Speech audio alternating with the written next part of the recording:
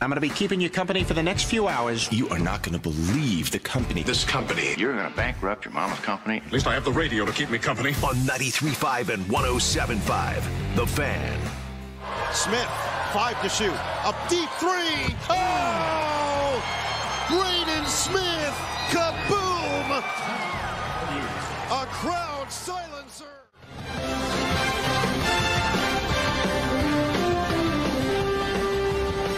So we'll say it right off the top. Boiler up.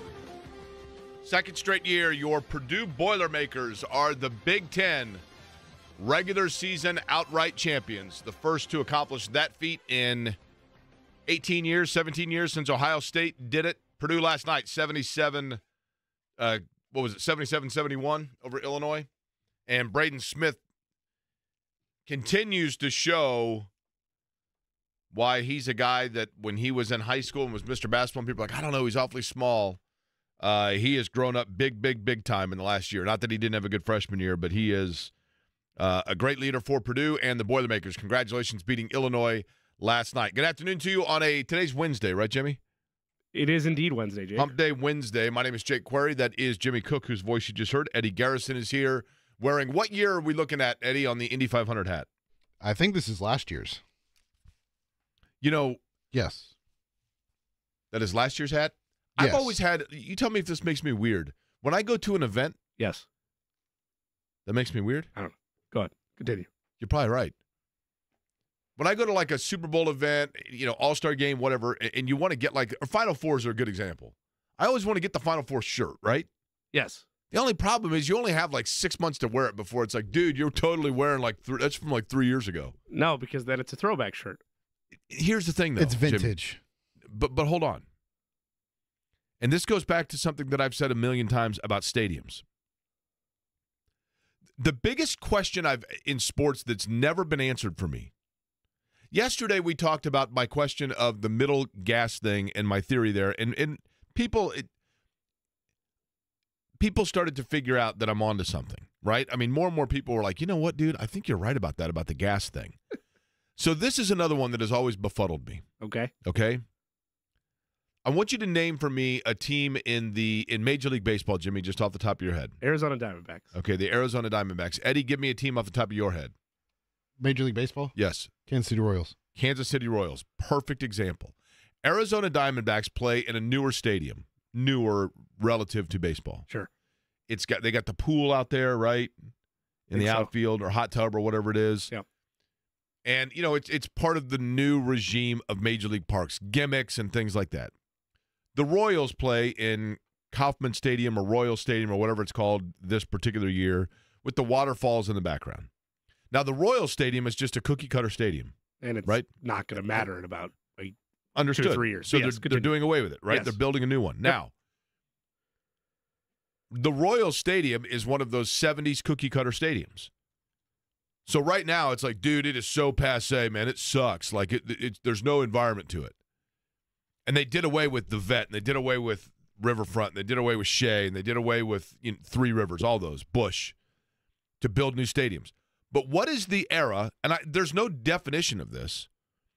What what is the what is the age that a stadium has to cross over where it transitions from dump to nostalgically retro historically cool 75. 75 years Yes.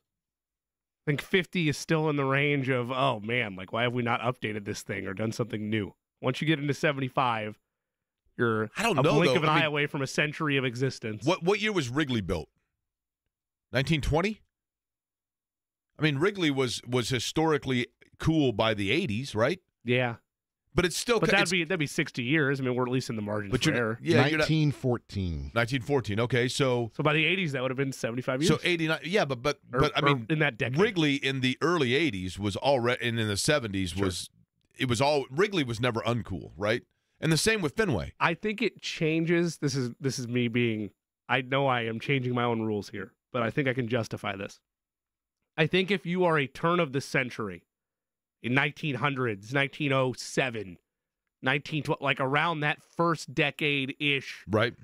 you have almost instant credibility if your stadium made it past world wars. and made it past. Okay, like, that's fair. Like real, there's there's some real memories in that stadium, right?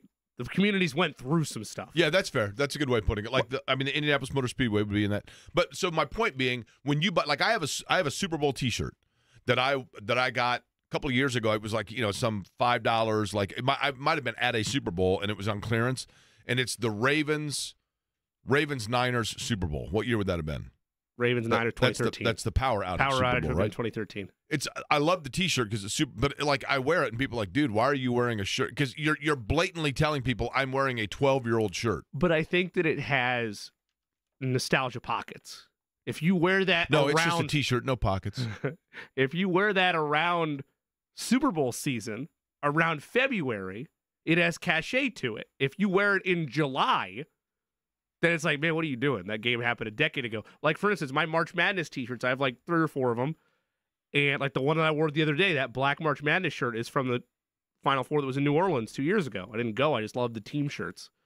Well, I have a Final Four with Kansas on it from New Orleans in I think 2012. But if I break that out during this month, then it's like, That's oh, okay. doable. It's the same thing with the Super Bowl T-shirt. You break that out during February, when it's almost Super Bowl Sunday. I think it has cachet. To So unless you are Indiana and you're rocking an 87 New Orleans one, because then people are like, he didn't buy that at the shop. He actually still has that from the last time and is thinking it's going to happen again. Sure. Yeah. Right. Um, at any rate, lot to talk about. Purdue obviously going to be a story today, and as a matter of fact, we're going to talk to our friend Alan Karpick from West Lafayette coming up at the bottom of the hour to talk about the Boilers and in particular what Purdue did in getting Fletcher Loyer kind of back on track, which I think is a huge key for them. What buttons did Matt Painter push? That is one of the questions that we will discuss. they're on the hunt for one of those shirts. And they'd then- like to have one of those. What's that? They'd like to have one of those shirts. They would. They don't want a 1981 either, right? No, no.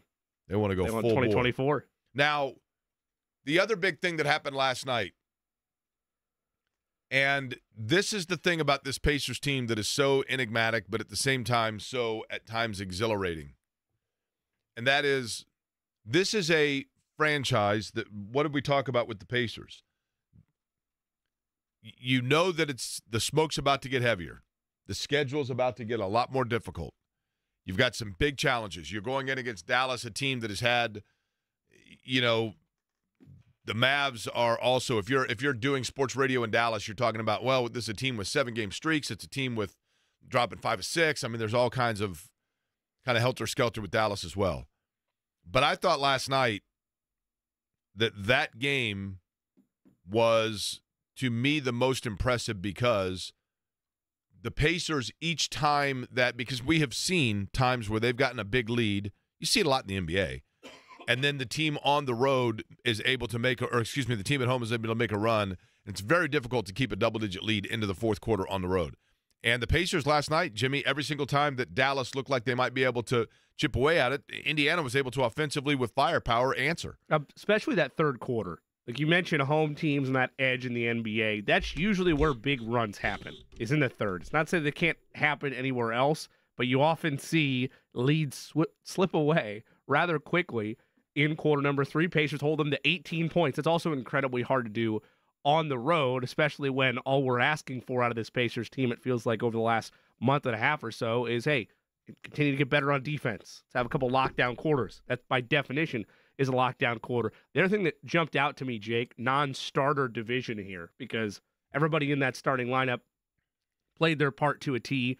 We'll talk about Tyrese Halliburton, his bounce back performance. Uh, they had mentioned on Bally last night that Tyrese had said that he put in the work. Like he had been in the gym the last couple days, like trying to figure this out because you hope it is just a slump, or that's all it was. And again, he goes 19 and 11 last night, but the depth of this team has been the biggest praise that we've given them when the offense is clicking on all cylinders. And they did it again last night for the first time in a couple of games where it's the bench that is carrying just as much weight as your starters. They outscored Dallas 69 to 32 off the bench last night. Bennett Mathurin leads the way there with 19 points. TJ McConnell gets his usual action.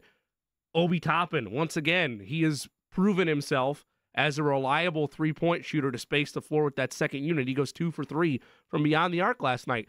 All in all, there's a lot to be happy both offensively and defensively with this team from last night, but just focusing on the offense, that was more like the Pacers that you saw in the first couple months of the season, getting high level minutes from their starters and getting high volume scoring from their bench. Ninth double double of the season for Pascal Siakam. It's the fourth time he's done it with Indiana.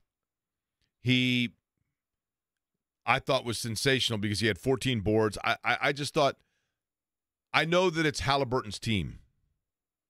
But Jimmy, are we starting to see kind of a slow, maybe not a transition to the offense going through Siakam, but rather a it's it's we're back to our fuel conversation.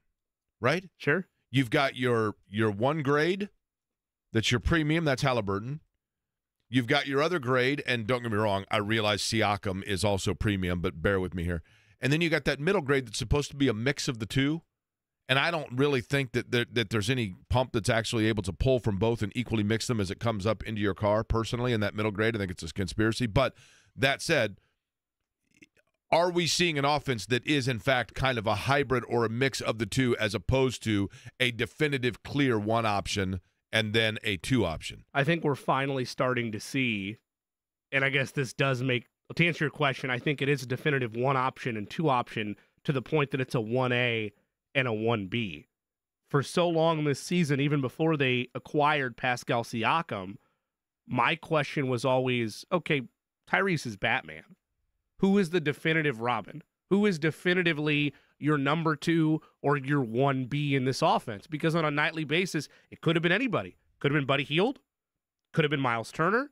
Occasionally, it was Benedict Mathurin. TJ McConnell off the bench would have like a 24.9 every now and again. It's like, okay, maybe he is your your second punch when he's in there with the second unit. And I think since Siakam's been there, more importantly, since they have had the lineup, I don't know full strength's the right word, but as they've added pieces back, it's been clear that Siakam is the weapon they most trust to play off of Tyrese. And it makes a lot of sense. It's what I said when they went and acquired him.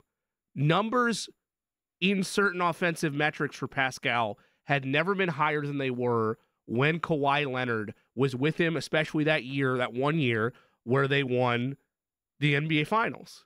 And there had never been somebody to get the high level strengths from Siakam's game out of him since. Tyrese Halliburton fills that void for him. He is the best passer, the best distributor, the best guy that can find crazy angles on a floor that he's played with since Kawhi. And I think you're seeing that within the offense of it doesn't have to be Tyrese the one that's getting buckets, but he's more than willing to feed Siakam and play the offense that way. Now, Eddie Garrison has a stat here about the Pacers that I, I want to use to try to test myself, and this is going to be almost impossible. But it's a great Pacer trivia question. Eddie, you have in the notes here that this is the first time since 1982 that the Pacers have had five bench players with 10 or more points, right? Correct. That's as far back as we could track it last night. Do you happen to have the box score of that 82 game? Uh, no. So, how did you track it? Uh, there's a service that Pat Boylan uses called Sports Radar. And But it doesn't give you the, the names of the players, is what I'm getting at. Uh, I didn't even think to look at it. I mean, if you want me to look, I can. Yes, because I'm dying to know what five bench players in 1982 and how many of them we've even heard of. I, I don't even know if I, I I would want to try to guess them. So don't tell me what they are if you have them. I would like to try to guess them. But bench players in 1982. I mean, man, would Jerry Sichting be one of them? I, I'm totally guessing on you know Jose Slaughter, Brooks Steppe. I mean, you're getting into some Devin Durrant. You're getting into some classic Pacer names of yesteryear. I don't think Herb Williams was here yet. Clark Kellogg would have been, I think, drafted that year, so he wouldn't have been here yet. I mean, based, curious. based on the language of that, it was either the 81 82 Pacers or the 82 83 Pacers. Well, that's correct? correct. So, I mean, you can just look up the roster. I mean, I can share that with you if you want, unless you want to continue to play. Well, but you don't know which five would have come off the bench in a particular fair, game. Fair, but give you me, give me the you- roster. Give me the roster of the 82, 83 Pacers. I believe one. It's either the 81, 82 or 82, 83 Pacers won what? 26 games. They were 26 and 56. 82 83 Pacers went 20 and 62. That's you had hell yeah. 20 and 62. Let's go. All right. Brad Branson, Okay. Household name. Marty Byrnes, Also a household name. Butch Carter, Oh yeah, of course. Indiana's Butch Carter. Yep. John Duren, Okay. Clemon Johnson, Okay. George Johnson, Okay. Clark Kellogg, Billy Knight, Guy Morgan. I'm going to butcher this one. I apologize. Rush Shoween, We're starting to see why they were 20 and 62. Jerry Sichting, Yep. Okay. Sichting. Jose Slaughter, Yep. There we go. Herb Williams. So Herb Williams was there. Okay. I'm telling you, Billy Knight, by the way, do you want to know the best trivia question of all time? Give it to me. I mean, I just gave you the answer. Sure. What Pacer player has the favorite kind of highest single questions. season scoring average in NBA history? Uh, what is Billy? Who's Billy Knight? That me. is correct. Billy Okay. Knight. You would win so many bar bets on that. You would win all day long. Uh, at any rate, Jimmy, what'd you do last night? Watched Pacers Mavericks clearly. Watched as well Purdue Illinois, and then Jake. I, I, I hope. Are you sitting down? Okay, good. You're, you're sitting down. sitting down. Yep. Jake, we had uh we had chaos in the Atlantic Sun tournament last night. Eastern Kentucky, a beautiful regular season champion that they were, falls to Jacksonville at home, and we had drama last Wait a night. minute. Eastern Kentucky lost? Eastern Kentucky lost, Oh, so their man. their their their dream is My done. buddy Jeff Cheney, man. Yep, they're He's out. an Eastern Kentucky guy. But then I, I thought of you and Eddie Swig down last the night eight. because the one in thirty Detroit Mercy on the road against Milwaukee last night were up four with about three to play.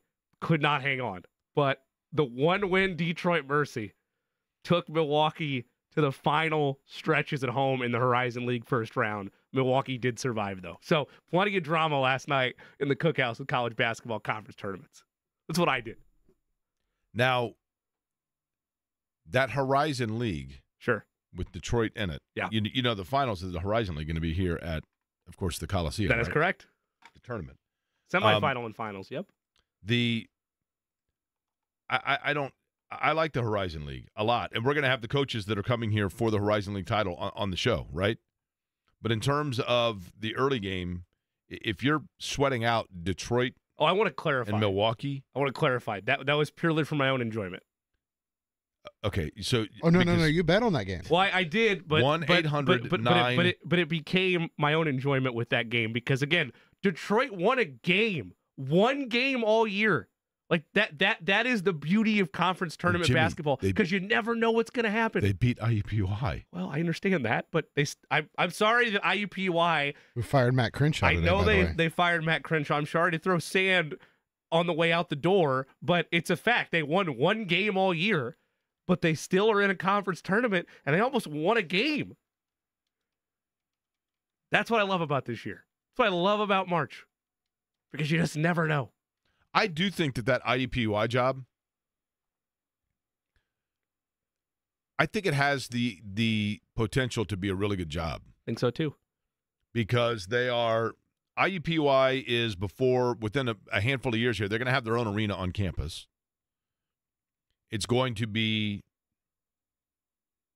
right over where the old tennis center was. So just to the I'm trying to think if my ma- if my geography is correct here off memory, just to the east of the natatorium, there's a parking lot there. That used to be the U.S. Tennis Center, where the hard court, the clay courts, and then the hard courts were. Um, the RCA Tennis Championships were held there. That's eventually going to be a multi-purpose arena for IUPUI basketball, and I think, and I don't know if that's like officially been like put the shovel into the dirt just yet. I think they need an auxiliary partner that would be able to put events there, whether it be concerts or whether it be the sports court. You know, I don't know. But if IUPUI is able to get that, and it's now going to be, you know, Indiana, Indianapolis, Indiana University, Indianapolis. I hope they keep Jaguars, to be honest with you. Same. But just the proximity, I think what IUPUI has done really well, and I think that somewhat like I thought Todd Howard did a really good job with this. Ron Hunter did a really good job with it. And that is, you know, making it a destination place to play or go to school for part of the purpose of IU Indianapolis. You know, I went to the University of Kansas, did not have a good year as a freshman, socially and academically, mostly academically. So I came back and was able to I was able to get my feet back on the ground by taking classes at IUPUI and going to IUPUI, which was part of the IU system, obviously, and then transferring to Bloomington. But I think from a basketball standpoint, there are so many players that go to a school, guys that play at Pike or North Central or Decatur Central or Tech, you know, or Roncalli, that go away to to a school and realize it's just not a good fit. Whether it be they're too far from home, or they're not getting the minutes they thought, or they're log jammed behind a position that was over recruited, and it gives players a chance to come back and play Division One basketball in front of their family right here locally. And I think that that's ultimately what you'd like to see is for that university and that program to become a first destination as opposed to rebound destination for people. But there is so much talent in this area. Look at the number of players in the NCAA tournament from Indianapolis schools that oftentimes you don't even remember that they were that they're from you're like, "Wait a minute, that guy's from Central Indiana?" Or kids from smaller schools in the donut or or smaller counties around Indiana. You know, there are kids in southern Indiana that living in downtown Indianapolis and going to school in downtown Indianapolis would be awesome.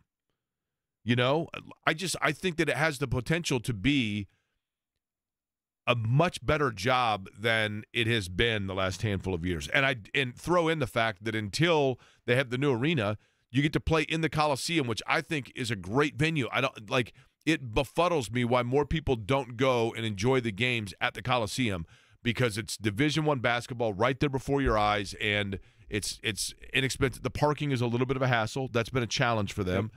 But I just think there are a million things. I think there are more reasons to like going to games than not. And I think that being local, being a localized program, and as you mentioned, with so much talent in the city, having somebody that understands the state of Indiana and understands Indiana basketball at its core should be their next head coach. I don't know if he has any interest in it, but I know he was on these airwaves earlier today. I think Paul Corsaro would be a great guy for that job. Yeah. Because he has continued to build things everywhere he's been. You're looking at 20 win seasons consecutively the last two years at UIndy, and again, I don't know if that's I- something that that they want. That you would think wants, that's but he'd got to be be on the radar because job. wasn't Stan Gouard a name that was kind of always mentioned as well Yeah. at different Yep. intervals, right? Yep. yeah, I, I think Paul would be great at IUPUI. I mean, and, and again, they have. I watched them this year. They had some individual talent, and they had a couple of guys like what I was talking about that had gone to bigger schools, thought they were going to get big NIL money, and then that wasn't there for them, and so they looked to go elsewhere, and it was a great opportunity for them. And then you know, obviously, you get into the whole factor of just the quality of education is good. You Mhm. know, I I was amazed. Not to turn this into some IUPUI show, but I, I was amazed when I finished my degree. Uh, I guess this time a, a year ago is when I was finished. Was it a year ago or two years ago? Anyway, when I finished it, and I, my stuff was all online through IU to finish to kind of clean up the, the classes that I needed. But obviously, some of that was anchored by going by having to go on a couple of occasions to different things at the IUPUI campus, and I, I couldn't believe it. I mean, it was 30 years ago when I had taken classes there, and now I went and I'm like, holy cow! It was like a state of the art Yeah, it's a beautiful campus. it is. I mean, they got it. That the union in there's got like every restaurant you want and everything else. I mean, it was cool. It was very cool. Right now, how much when you were at uh, IU Bloomington, how much time did you spend in the union? Not a ton. I mean, like that. It would be a good place to study, which I did Did they have the food court in there They- still? yes, they did. did they have the delights, which was the popcorn place? Is that still there? I don't think Right so. around the corner from the bookstore on the second floor. No, it might be a Starbucks now. And now, like uh, you know, they don't have a computer lab anymore, right? Correct. I mean, that was when I was in school. The big, you know, the two things. Here's how you know that date times, right? That show that like things that were prevalent when I was in college that you guys that would not be now. One of them was, and this is in hindsight. Think about this. This is crazy in hindsight. Think about this in 2024 for a number of reasons. They had, and it was a popular thing, the ride board. You know what the ride board was?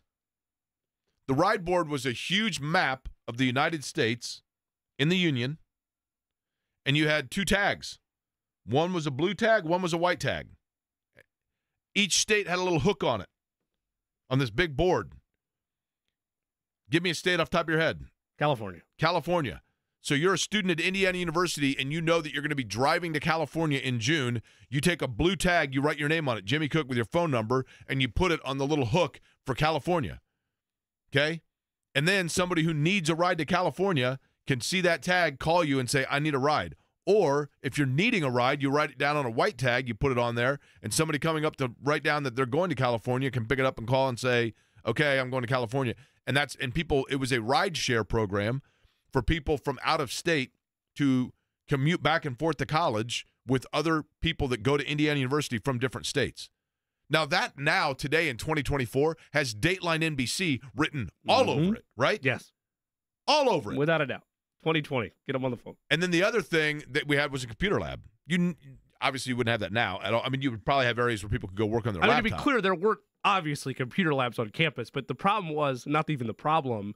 At Indiana, the the dorms and the living areas and everything else, like the rec spaces, had become so advanced that the union would be the last place I would go to unless I wanted just quiet Right. focus because No, I there were get it. certain like quiet halls. But there. but I mean to think that Let's go to Herman in B. Wells 19 and- in 1995 and anybody listening to my voice that's of my age right now is like absolutely the two big things. Number one, the, the computer labs because a lot of people did. You had a word processor, maybe. Very few people had a laptop Sure, then, sure. right? And if you did, it was kind of clunky. So you would go to the computer lab to like write papers and research and whatever else. Plus, you'd be worried about spilling your ink bottles and quills on the laptop. Totally, I mean, that right? would have been very dangerous. Totally. Yeah. And then the other thing was the internal email, which is a black screen, green type, like the movie War Games Nice. email. And it was the biggest deal ever to like, I got to go check my email. You're like, oh my gosh, I got eight new messages. And it was all internal on campus emails. And when we figured out how to send emails to people at a different university, it was literally like, I mean, holy cow, we are ready now to just go back and solve like let let's go cure diseases now because we figured out how to send an email to Hanover College.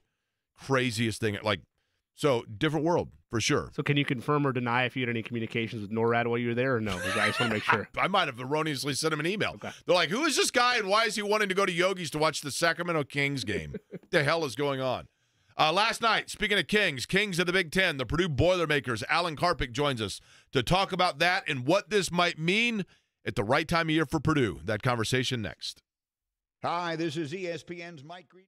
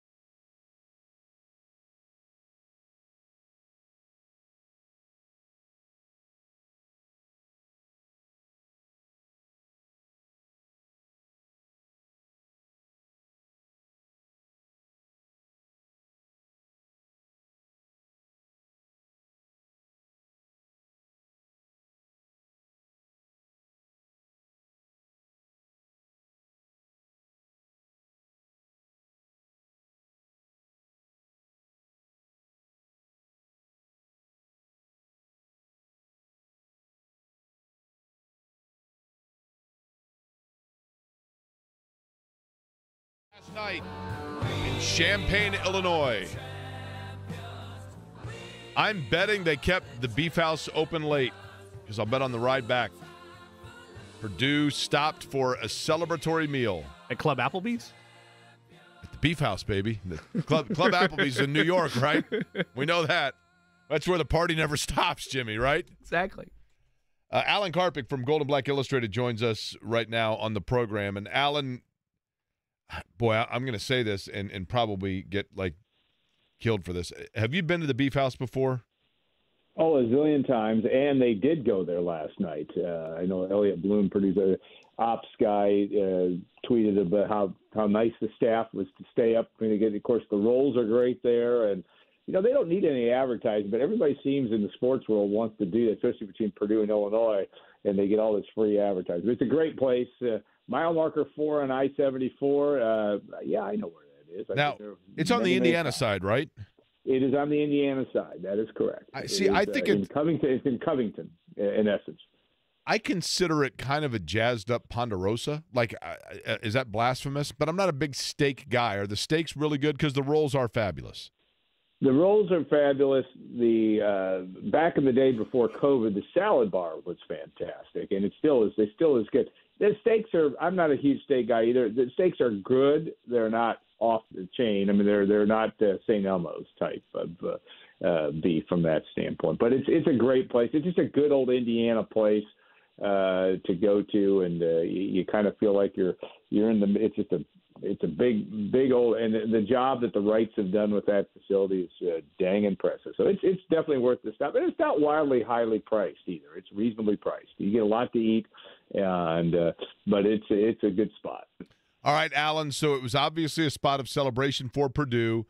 Aside from the obvious, which is celebrating winning a Big Ten title, the biggest reason, if any, right now for Exhale for Purdue fans is that what area, there is one thing that I have in mind, but what area for this team seems to be going in the right direction at the right time that might have been of concern a few weeks ago?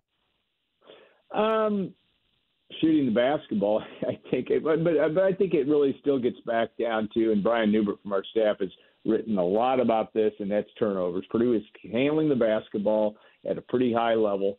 Uh, when they get over that 13, 14 turnovers, they certainly were worried about that last night. And Terrence Shannon and what he leads the country and led the country in uh, in fast break baskets or scoring. Uh, Purdue was able to slow that down. Did not have a lot of live ball turnovers uh, and a lot of runouts by maybe a handful of them uh, by Illinois. That and so I, I would go with turnovers and, and Purdue's ability to hang on to the basketball because they're so efficient offensively. When you got the when you got Zach Edey, you can't help but be. Uh, even when they were struggling the first half last night, that was kind of the story to me. Is they stayed in the game and they and they they weren't making shots early. They pounded the ball inside, and that is uh, that is something that nobody in this country uh, in college basketball has, and uh, I think it gives them a lot of things to you know do. But don't turn the ball over. Still is the mantra in my view. What, what's yours? I'm curious.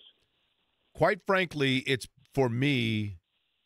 You kind of touched on it in the shooting aspect of it. Getting Fletcher Loyer back on track and mm-hmm. having him be that guy that that you know. Obviously, you know that that that Edey is virtually unstoppable inside, but he becomes even more unstoppable when you've got to spread a defense out a little bit. And, and it felt like Loyer you know, was kind of hitting into that snag like we saw last year towards the end of the year where people can kind of sag off that a little bit.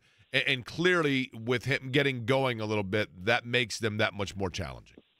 I, I I can't I don't disagree with that at all. It's interesting in some of those games when his February slump, which he did, his numbers were down.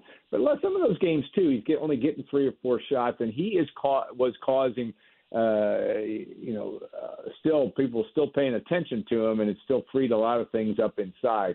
I, I think uh, Loyer is a baller. You see, you see that because he's played his three best games this year against Tennessee, Arizona, and now Illinois uh, and he's had other good ones. But no doubt, Purdue has to. You know, the fear among Purdue fans, which is it's it's fair to be this way. I, I think Purdue fans tend to wallow in, and understandably, when the NCAA has turned out the way it has the last three appearances. But uh, you know, it's that fear they're not going to be able to shoot the basketball. They're going to go cold like they did against Fairleigh Dickinson, et cetera. But this team just hasn't done that this year, and uh, it's just a Braden Smith.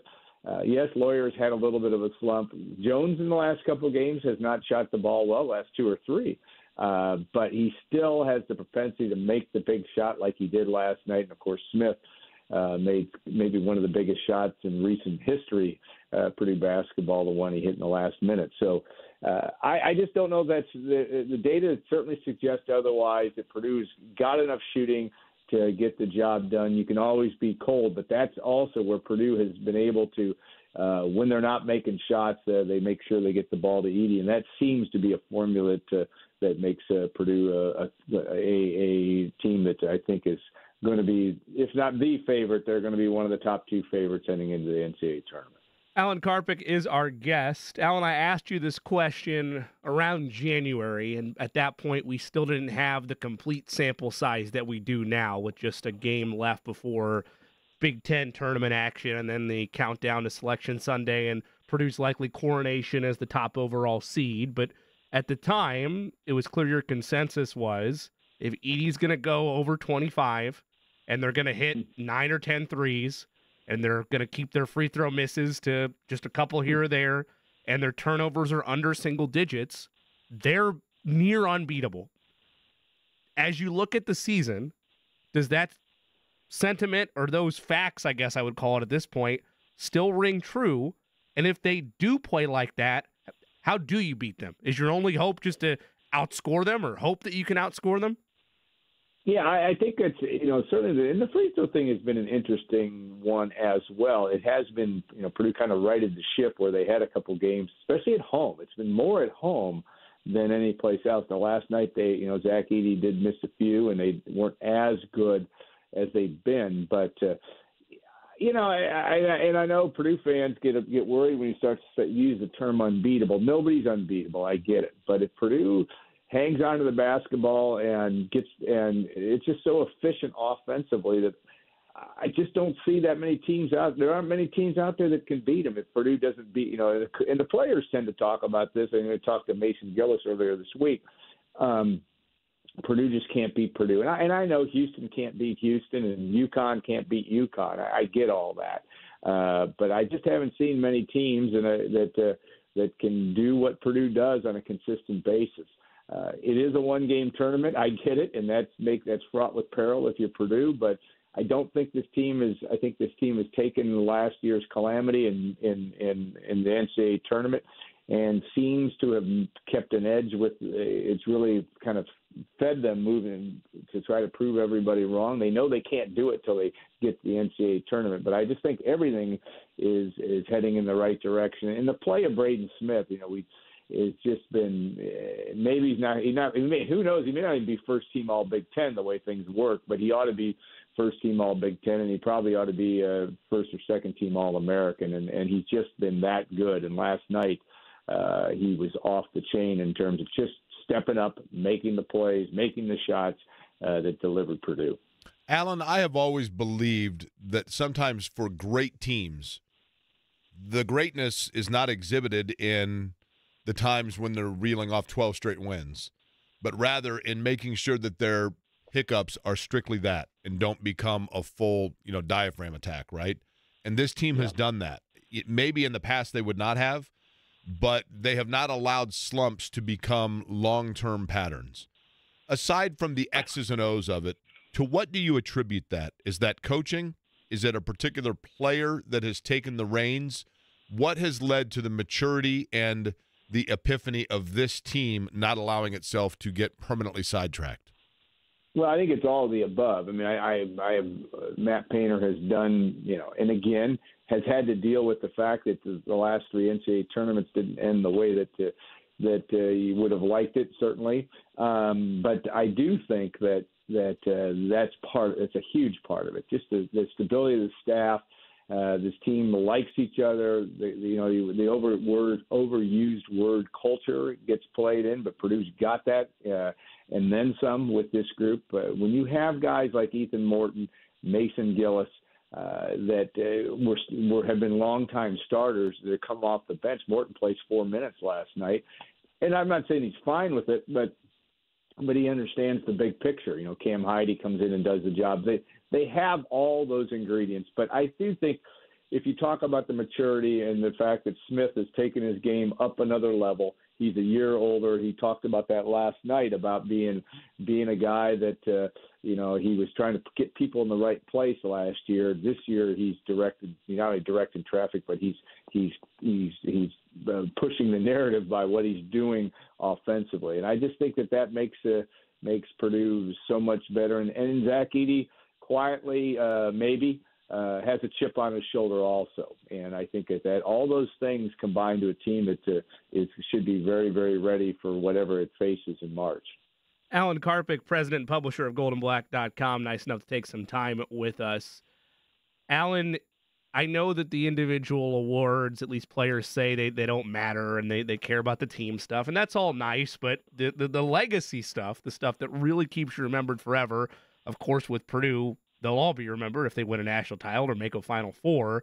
But Zach Edey has an opportunity, and knock on wood for Purdue fans, I think he's going to do it. He's 66 points away from passing Rick Mount as the school's all time leading scorer. Now, I understand that Rick did it in three varsity seasons, and so I'm not trying to turn this into a, a big debate like it was with Caitlin Clark and Pete Maravich earlier this week. Yeah. But in terms of A, that mark, is that a record you ever thought would be passed? And how fitting is it that Zach Edey, who could go down, I would still put the big dog in there as the as the king, but could go down as the greatest player to ever leave Purdue by the time it's all said and done.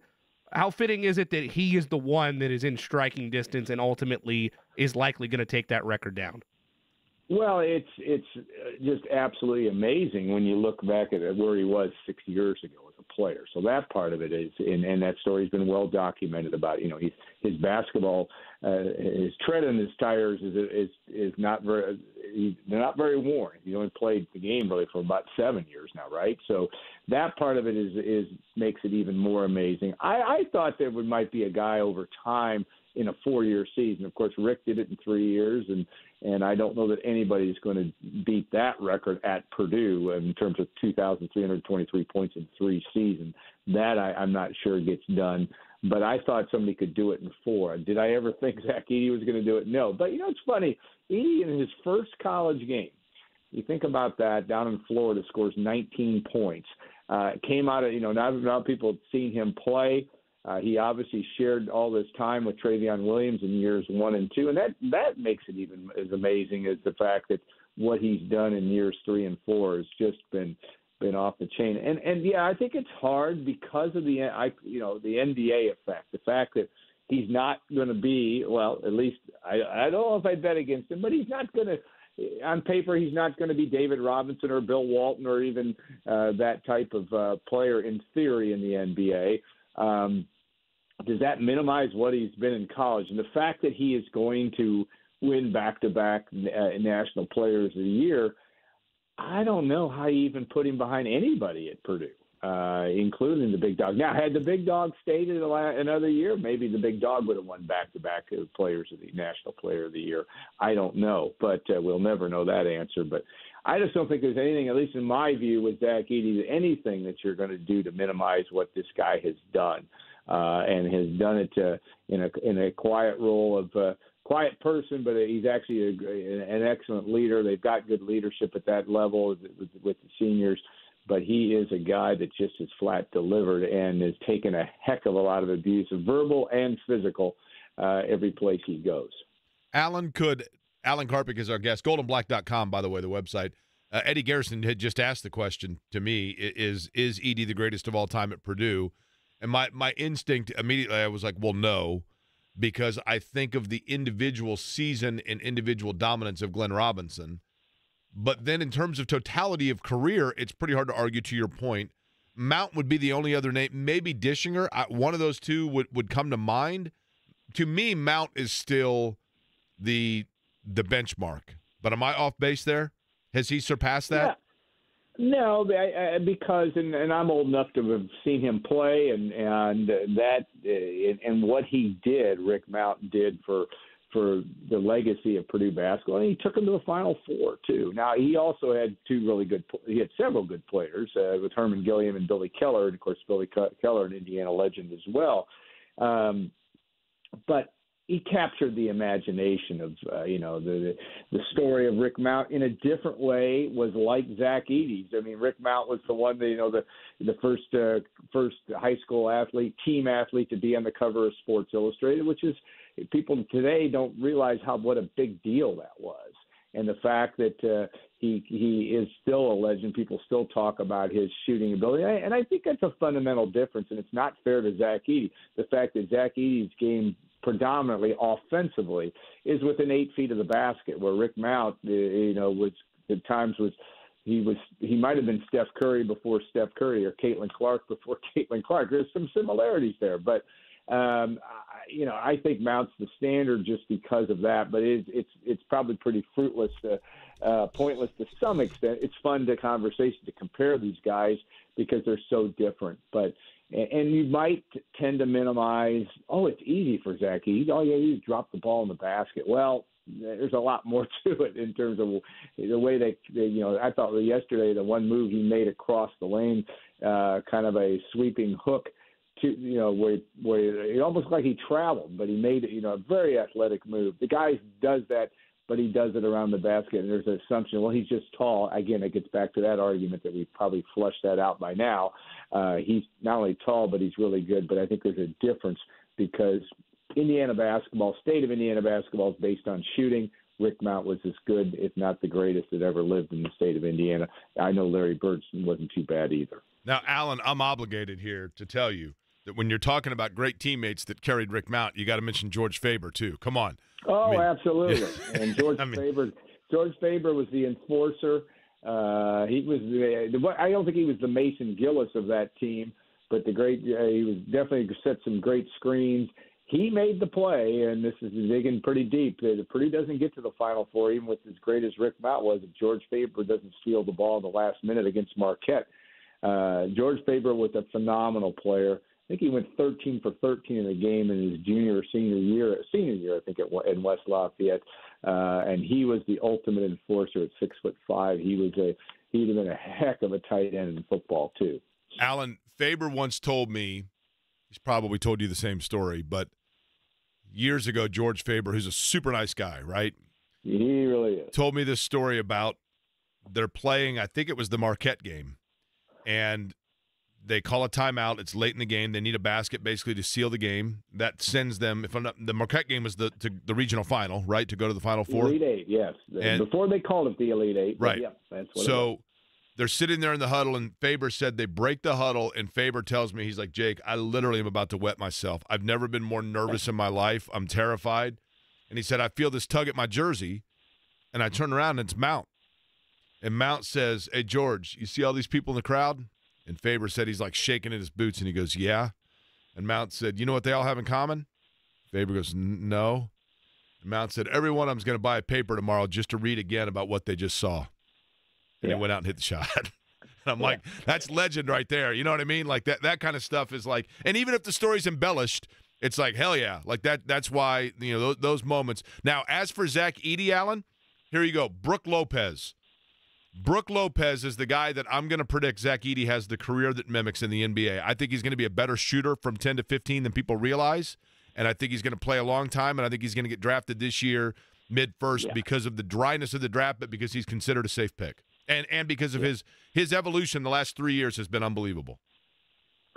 Yeah, I, I agree. I think he is going to get that, and and that is so Rick, man. I have the pleasure of having lunch with Rick a time or two a, a year, and we tell some fun stories. Uh, and he tells a lot of them, many of them embellished, and George George as well. But uh, that that that story is, I think, is quite true, uh, and that's so, so Rick Mount. Uh, and I think it, a guy that had unbelievable amount of confidence. Zach Edey does in a different way. Uh, is never he's not going to not going to pull guys off and have that type of experience. I wouldn't think coming out of the huddle with Matt Painter, but he's going to deliver. But yeah, I, I'm not going to worry too much. You know, uh, if, if Zach Edey can have a a long career in the NBA. He is whether he's a star, and and and you're right. I don't think anybody's predicting him to be that way in that league. But uh, you can earn a nice living. I had some people tell me uh, by playing in the NBA for, for eight to ten years. That's Cody Zeller, right? Yeah, and good for Zach because he is just he is he has worked so hard at what he's done. And again, I think he suffers to some extent uh, in the court of public opinion by the fact that he's that uh, he does a lot of stuff around the basket. But if you look at how hard that guy works to get open and do the things, and and how unselfish he is. Uh, I mean, the key plays last night were really uh, a lot of his passes. I mean, the, the the one rebound where he gets and he, I thought he gosh, he got just put it right back in the basket. And he throws it in the corner to to Lance Jones for the three, uh, and throws it to a guy that hasn't been shooting that well. Uh, and uh, it, it's just uh, off the chain uh, in terms of what how he is a team player, even though he's not the point guard. He last night, Zach Edey sent the tweet to let everybody know the Beef House was exactly that. Um, it was the celebration for Purdue. Alan, I've got a feeling that there are going to be plenty of stories to talk about and legendary ones perhaps that unfold here that don't need embellishment. I know you'll be covering it for goldandblack.com and certainly hope that you'll be able to share with our audience over the journey as well by coming back on the program because we always appreciate it. We love being on, and uh, one thing I know, guys, that when I'm when we're on on your show or anybody from our staff's on your show, that uh, Purdue's a good story or something's going on, and that uh, if you're a Purdue fan, you hope that you've got another five to six weeks of this, and uh, we'll see. But I I, I would bet it bet against the Boilermakers uh, making a very, very deep run in, in March in, uh, and early April. We'll see. That time of year, we look forward to it. Alan, appreciate it. All right. Thanks, Jake. Thanks right. so much. Alan Karpick, goldandblack.com. Scott Agness going to join us top of the hour as the Pacers big win last night in Dallas. You are listening on a hump day. Are you guys proud of me? I'm not. It's been an hour in, and I have yet to say hump day, which I usually do, right, on a Wednesday. I was proud of you until that. It is Wednesday, right? It is Wednesday. I want to make sure. It's Query and Company here on the fan. Don't want the worry of maintaining your furnace or air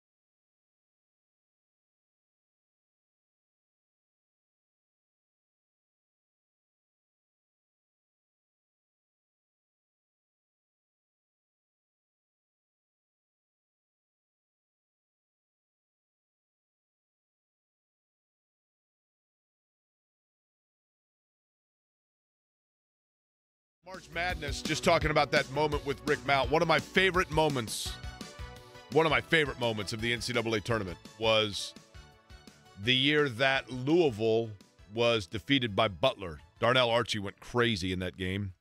Butler roared their way into the Sweet 16, and after the game, Joel Cornette had the famous quote of, Look, nobody talked about us, nobody cared about us, nobody watched this game on TV, but here it is in the round two, weekend two, whatever, and we are still here. And Jordan Cornette, Joel's brother, who you hear on this program, you see on television, um, and was on commentary for the game last night and was singing the praises of Purdue uh, over Illinois. And he just tweeted out, I just retweeted it. So if you go to my Twitter account, you can see it. But there is a very cool sweatshirt that has been made for the Joel Cornette Foundation that simply says, We are still here. And then it has Cornette's initials on the sleeve. But the sweatshirt itself, they have hoodies, they have t shirts, they have different things, but simply with the quote of We are still here. And part of the reason, aside from the fact that I absolutely loved Joel Cornette, that I'm mentioning that is because the proceeds for it for the Joel Cornette Foundation go to the American Heart Association, which I think most people probably realize by now is an organization that's pretty close to my exactly that. So, American Heart Association benefiting. You can find it on my Twitter account at Jake Query, J A K E Q U E R Y. Just order my hoodie. You'll probably see me wearing it in here very shortly. Scott Agness, by the way, is next. Want more speed?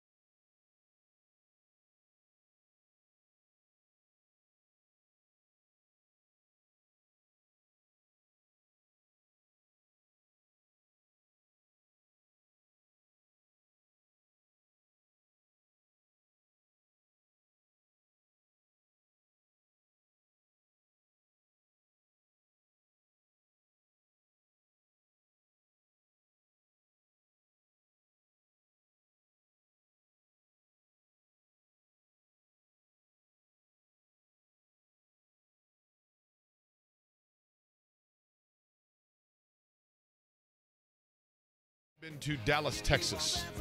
I have. Eddie, you have or have not been to Dallas, Texas? I have. Last night during the game, somebody sent a tweet to Mac Engel. Are you shocked that I've been to Dallas, Texas? No, I think actually you mentioned it once, right? It's where I was for my 21st birthday.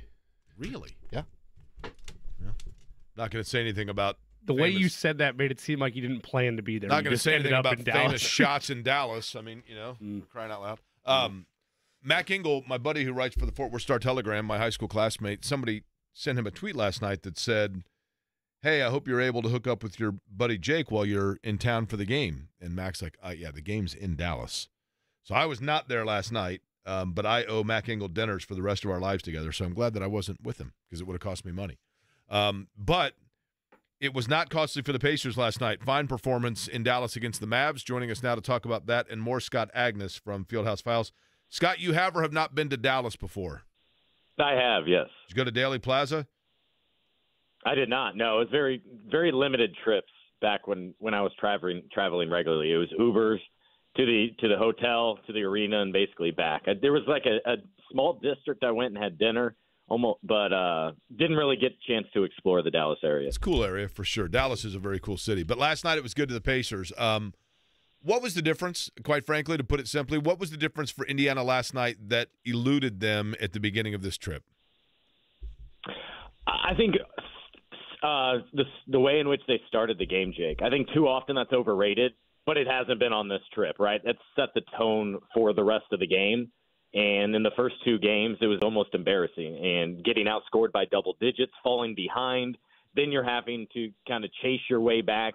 It was not the case at all last night. And then from there, it was also after that a combination of a total team effort and a favorable matchup with Dallas. They can't defend anybody right now. And the Pacers' biggest weakness is wings. They don't have wings, they just have two strong guards. So on that same point, as you mentioned, it could have been a matchup problem or a matchup advantageous to the Pacers last night, Scott. We talked about the previous three games. Was there something wrong with Tyrese Halliburton? Was there something wrong with the team from an offensive standpoint? Clearly, those were at least temporarily put to bed last night against Dallas. But if it was in large part taking advantage of a matchup problem or maybe a matchup as a whole, what do you look for these next three? They go home against Minnesota tomorrow night, and a couple days off, another mini road trip, Orlando, Oklahoma City, and then back next Wednesday against the Bulls at Gainbridge. What do you look for over these next three or four games to know no that was not just a one off last night against Dallas? They are they're getting back into form. Yeah, good question, Jimmy. I don't think anything was solved by any means last night. Um, I, I think it was an, a, a situation where the Pacers were extremely motivated, had had a shoot around, and and and then were able to get things to kind of finally go their way. A lot of it is simple in terms of just seeing shots go down. Right, that's a, a simple fix that can go game to game. They had six threes in the previous game in a bad loss at San Antonio. They had four in the first quarter. Um, and you always get a different Miles Turner when you play Dallas. That's always one of the fun things I enjoy seeing uh, each year when they play his hometown team twice a year. But in terms of moving forward here, one, Halliburton is not fixed. First of all, it starts with health, and he won't be 100% the rest of the season, both in terms of the a level of activity that they're playing with basically every other day now, and the fact that hamstring injuries they just don't go away, and because of his games played and the the contract situation in terms of qualifying for All NBA, he wasn't able to sit out as much as I think typically you would prefer a player to to sit with a hamstring injury like that that can linger.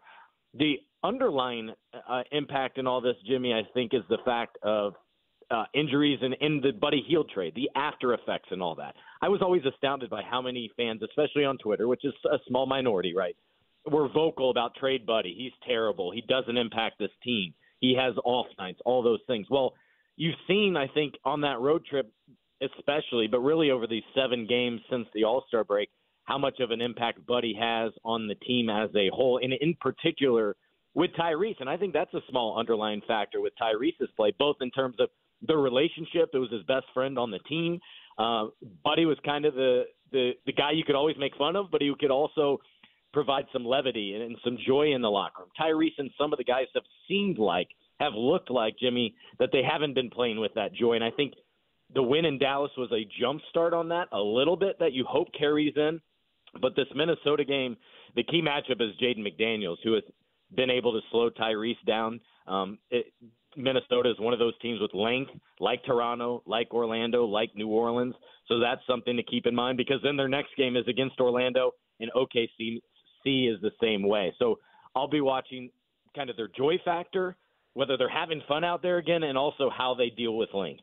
Scott Agness of Fieldhouse Files is our guest. Scott, I want to go back to what you mentioned with Tyrese Halliburton because I'm with you to some extent. One game does not Mm-hmm. suddenly a resolution make where he's back to where he was, and now the questions are put to bed of is this a slump? How injured is he? But I will admit, 19 and 11 last night, he looked more like himself. The three pointer still wasn't there in terms of where we've seen him be effective before. He goes three of 10, but some of his usual numbers still popped off the page, and I thought he looked more comfortable. They stressed on the broadcast last night. I can't remember if it was Quinn, if it was Chris, Jeremiah, Eddie, I don't know who it was, but they had mentioned on the broadcast last night that he had told them pregame he'd put in the work the last couple of days. He knows his game wasn't right.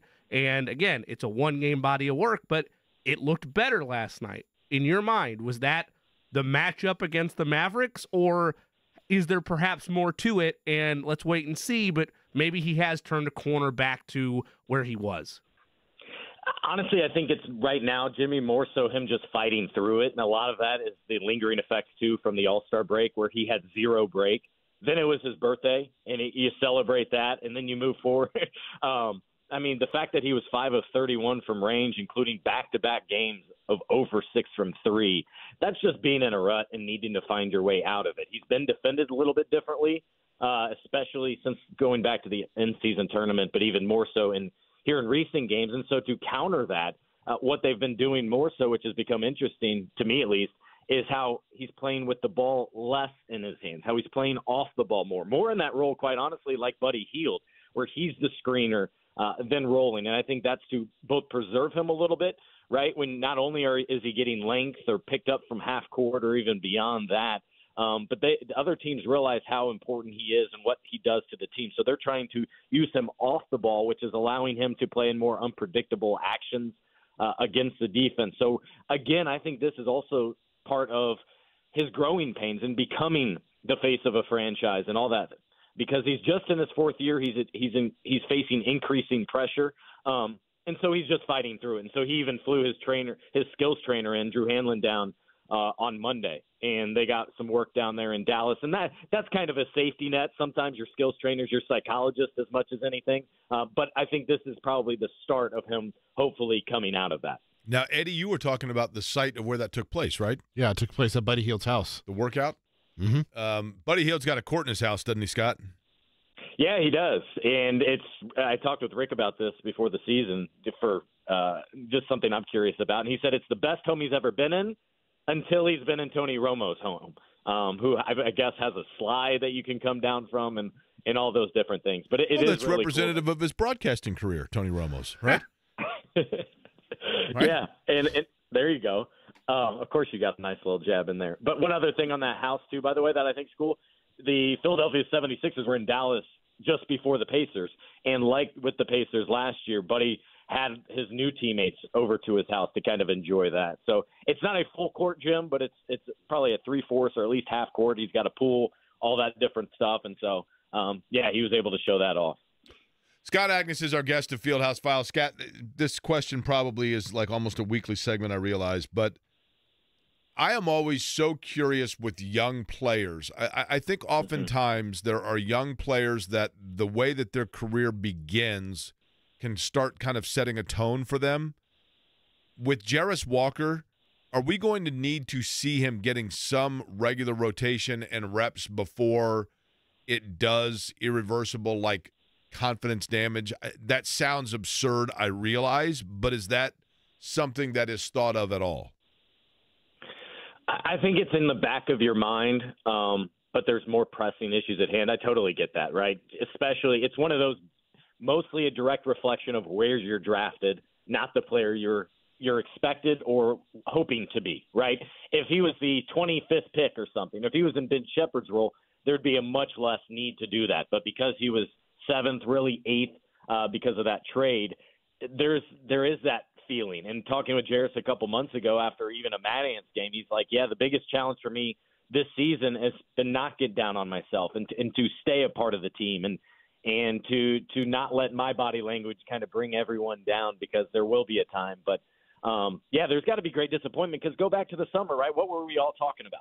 Pacers have no power forwards, so they drafted one, and now he's not even in the rotation, and so there's that immediate thought. Um, you know, what's next for him? The re- realistic thing here is we have seen growth from him uh, when he has been out there, and in particular, more so with the Mad Ants. It's just kind of right now there's better options that are uh, more readily available to contribute now versus throwing Jarace out there. Although, to your point, this is not a championship contending team. This is more looking forward. At some point, do you want to get him out there to um, kind of start that confidence and, and skills building and, and, get more tape, quite frankly, to lean on when you go into the off season? Scott Agness is our guest. He covers the Pacers for Fieldhouse Files. Scott, going back to last night, Pacers 137, 120 winners over the Dallas Mavericks, and we know they'll be back in action tomorrow night at Gainbridge Fieldhouse against Minnesota. But it seemed like, especially the second unit, that was a early season type of performance from the bench. They outscored the Mavericks 69 to 32 last night and they scored in a wide variety of ways when they were leading the league in offensive output. And I know that number's come down the last couple of months, but is that the true secret sauce to this Pacers team? Like, yes, you want the starting five to be doing well, but when the bench is doing that, their depth takes them to another level, does it not? No, you're absolutely right. I mean, that's that's the thing that's been huge for this this team. It's that's why you hear Rick so much talk about it's not about one player, good or bad, or this performance or that. It's the greater sum, truly, of the parts of this group. Here's the thing, though. The rotation right now is at 10. You're not playing 10 in the postseason. And so it's it's the matter of is this team built for the regular season or is it built for when it matters most? And you, last night I thought was a, a great example of that, right? Last night I don't think that type of depth will win you a playoff game. You need Siakam to have more than four points at half. You need Halliburton to have more than four points at half. You lean on your starters and those stars to take over. And so winning by committee is great now, but I'm not sure that'll get it done when it matters most. That's when it becomes most alarming.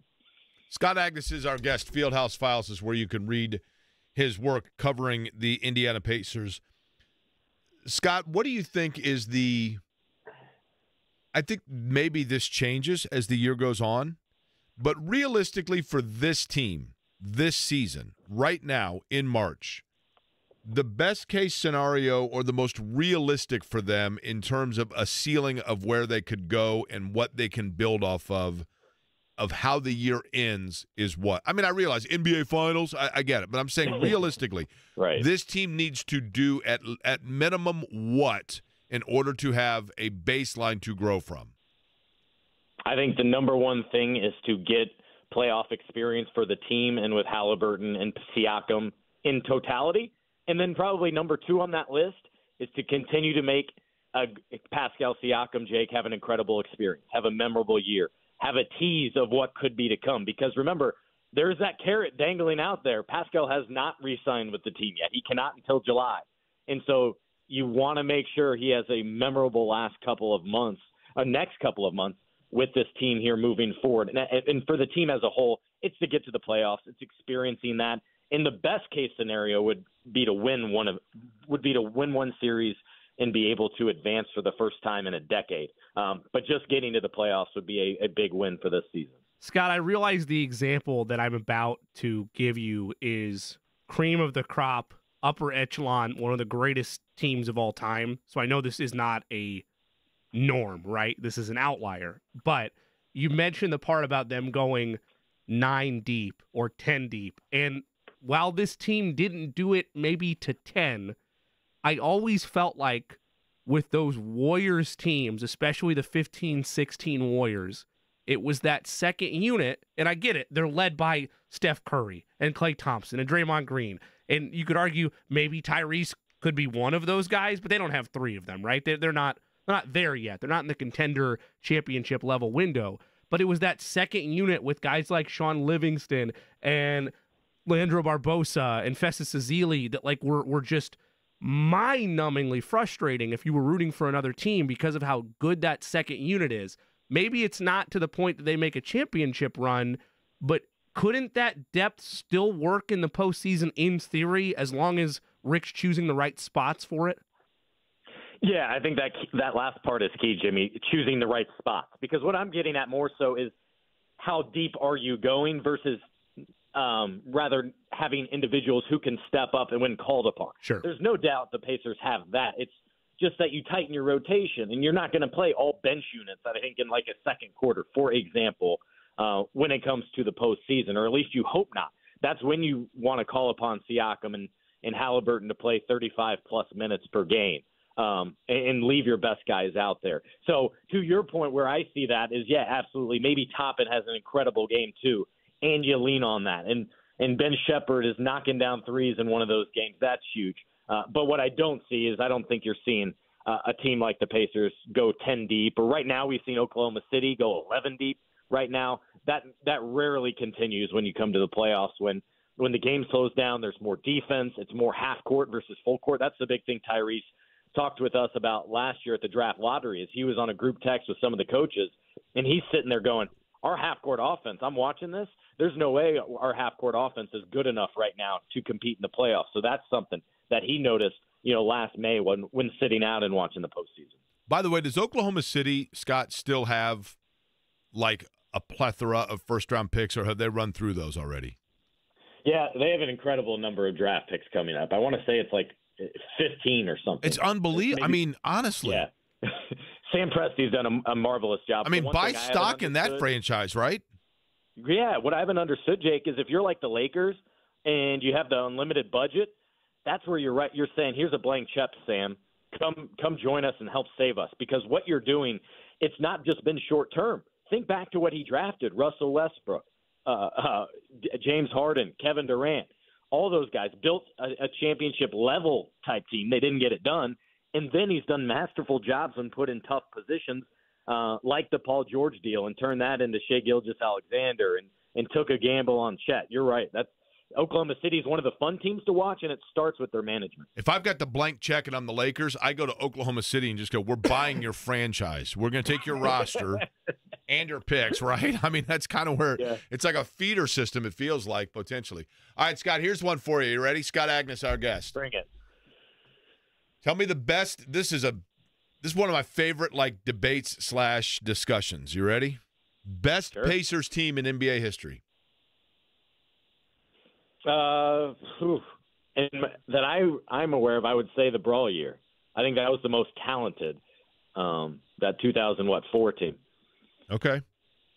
I I would go. Now, who do you think I'm going to go with? I don't think you ever do anything obvious. So that many would probably go back. Hey, look, the finals team, 2000.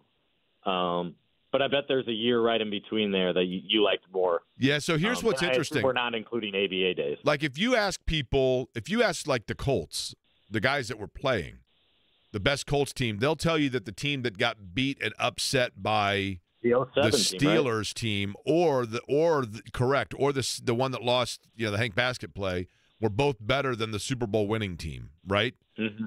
I think for the Pacers, even though they went to the finals in 2000 and I'm going to include the brawl year. I think their best team was was 98 when with Jalen emerging and Reggie Miller and Chris Mullin was still a contributing player. Perkins was good off the bench and Smits that pushed the Bulls to seven games, and then Scottie Pippen got 46 fouls in the fourth quarter of Game Seven and the 98 against the Bulls. To me, that was the one. But clearly, more raw young talent, the Brawl team probably was better. But I think you have to factor in the volatile inconsistency of Ron Artest. Absolutely, I, I I totally agree with that. Just from a talent standpoint, that's why I went with that Brawl year. But um, yeah, I'm not surprised. Leading up to that finals team, you have those growing pains, and that 1998 team was special. Uh, so was 99, obviously, uh, able to get to the finals before that breakthrough. Yeah, that I'll, tell you what the um, was a fun years for sure. I mean, no, no, question about it. And it was also a different era because you could you could plug guys in and kind of grow with them year by year by year. And I, you know, I just think that free agency, it's just a different era. I mean, quite frankly, the way you build franchises today. Mm-hmm. Scott Agness, Those our my guest. favorite teams too. What's that? Growing up, my favorite player was always Mark Jackson, and so him kind of leading that, helping lead that charge. And you're right, there's something special about seeing guys come into their own a little bit, like Jalen and others. Um, those those were some of the prime time years. Plus, you had those great pinstripe jerseys. How about the fact that they traded Mark Jackson for Jalen, and then like a year later, we're like, you know what, we want Mark Jackson back.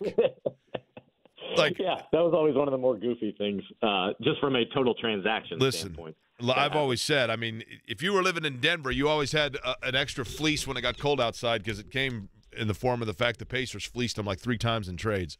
Uh, Scott Agness, what's next on Fieldhouse Files? What are you working on? It's funny we kind of mentioned older teams. I talked with Ben Wallace while during All Star break, so we talked uh, a little about about his documentary and what he's been up to, and also just kind of about defenses and such. Um, currently, as we've seen less defense, and then the other thing, uh, Jake, that I'm working on is doing a kind of a, a summary of. Uh, it's a little later, but on Tyrese Halliburton's All Star Weekend because I think that'll better encapsulate how busy he was and why there's kind of been an after effect. I think leading into the last seven games. Scott Agness joining us on the program. A pleasure as always, Scott. We look forward to reading that stuff as well. Thanks for joining us today. I appreciate it, Jake. Thanks. All right, Scott Agness, uh, Fieldhouse Files. We come back. I'm going 94 95 Pacers, by the way. Hard to argue that. Hard to argue that. Lost man. to the Magic in seven. Man, trust me. Shaq went crazy in that game. I'll, I'll never forget watching. I was down the street. I, I, was staying at my parents' house. It was the end of my college tenure. The Ruckles Ruckelshaus family down the street, Drew Ruckles Ruckelshaus, who's now a, a sports. John Ruckles Ruckelshaus was a you know great dude, man, great dude, local politician, and his son Drew, who's now an athletic trainer, was a little kid at the time, and was shooting baskets in the driveway with Drew, and John coming out and saying, "You think we can win Game 7? I'm like, "I don't know, man. Like it's to be tough." And they got absolutely blown out in that final game against Orlando, and Shaq and that big dumb Phillie Phanatic looking thing for the Magic jumping around Stuff. at midcourt. Ah, just that was that might have been the last era truly of like Jake Query emotional investment, like you know wanting to like throw things over sports. I was just so man, I loved those teams. I could turn back time. Loved them so much, man. It was it was awesome. But when we come back, something that I think has happened for this Pacers team that is the actual best medicine, and it wasn't even intended, but it's absolutely been a total godsend for them in the last two weeks. And I'll tell you what it is next. Crime and violence in Indy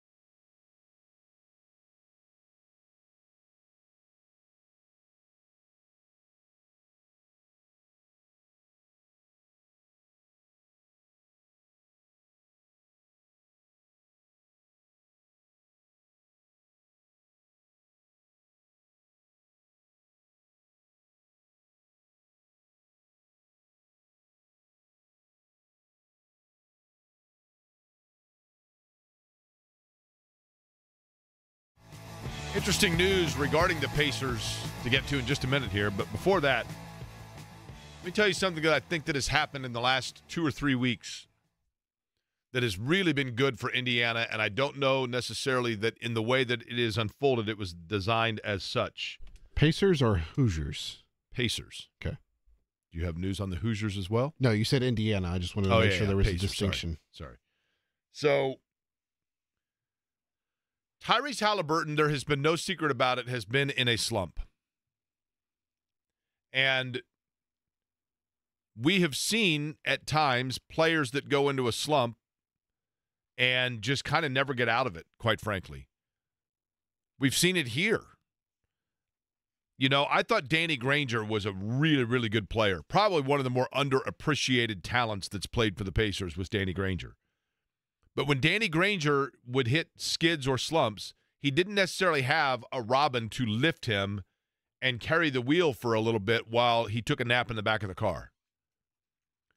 And I'm not saying that Halliburton didn't necessarily have a guy like that before, but what we have seen is, and what we saw last night, that I think is critical for the overall confidence and long term stability of Tyrese Halliburton is the fact that he now has a guy when he is not playing well or when th- when the shot's just not dropping that instead of continuing to force which can become an issue you have a guy in Pascal Siakam where he can defer a little bit and say, look, I, I need to step it back a little bit and let the game slow down for me. So can you take over some of these possessions?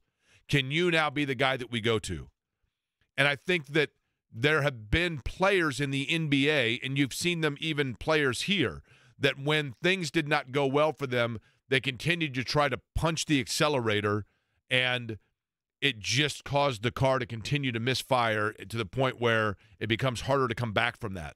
And Halliburton, with this trade for Pascal Siakam, which had long term vision to it, they don't make that trade unless they feel like they can sign him and get a 1A or a 1 to the 1A of Halliburton, whichever way it might be. But the beauty of it so far, in what we saw last night, Halliburton has been in a slump. There's no doubt about it. His his play has dipped. There's no doubt about it. His shot was not falling. There's no doubt about it. And he was getting to the brink of starting to force things, which was becoming counterproductive to the overall effort of what they were trying to do. But what you saw last night was Pascal Siakam saying, okay, go through me, and Halliburton basically saying, look, I'm going to defer and we're going to run some sets through Siakam and let things come to me as opposed to me driving the engine and letting things then go to everyone else. And they couldn't have done that probably before. Now, one guy that he, Tyrese Halliburton, was comfortable with and that served for a long time, probably in that capacity for him, had some interesting things to say just about 30 minutes ago. This from Jake Fischer of Yahoo Sports, hmm. quoting Buddy Hield in regards to his time as a Pacer. Quote, this is Buddy Hield speaking. I think the most challenging part was the indecision, the indecision. Just like with games, we had a lot of guards and we didn't ever know who was what decision Rick was going to make, who's starting, who's not, and how they feel about you.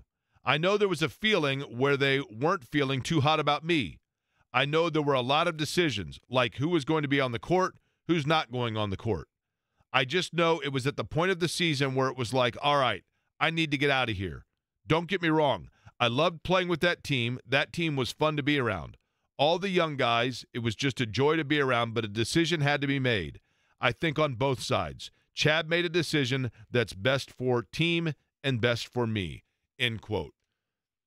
Now, I think that when you see that from Buddy Hield and you read that, it can be pretty glaring if you wanted it to be about Indiana. But the reality, I believe, is the following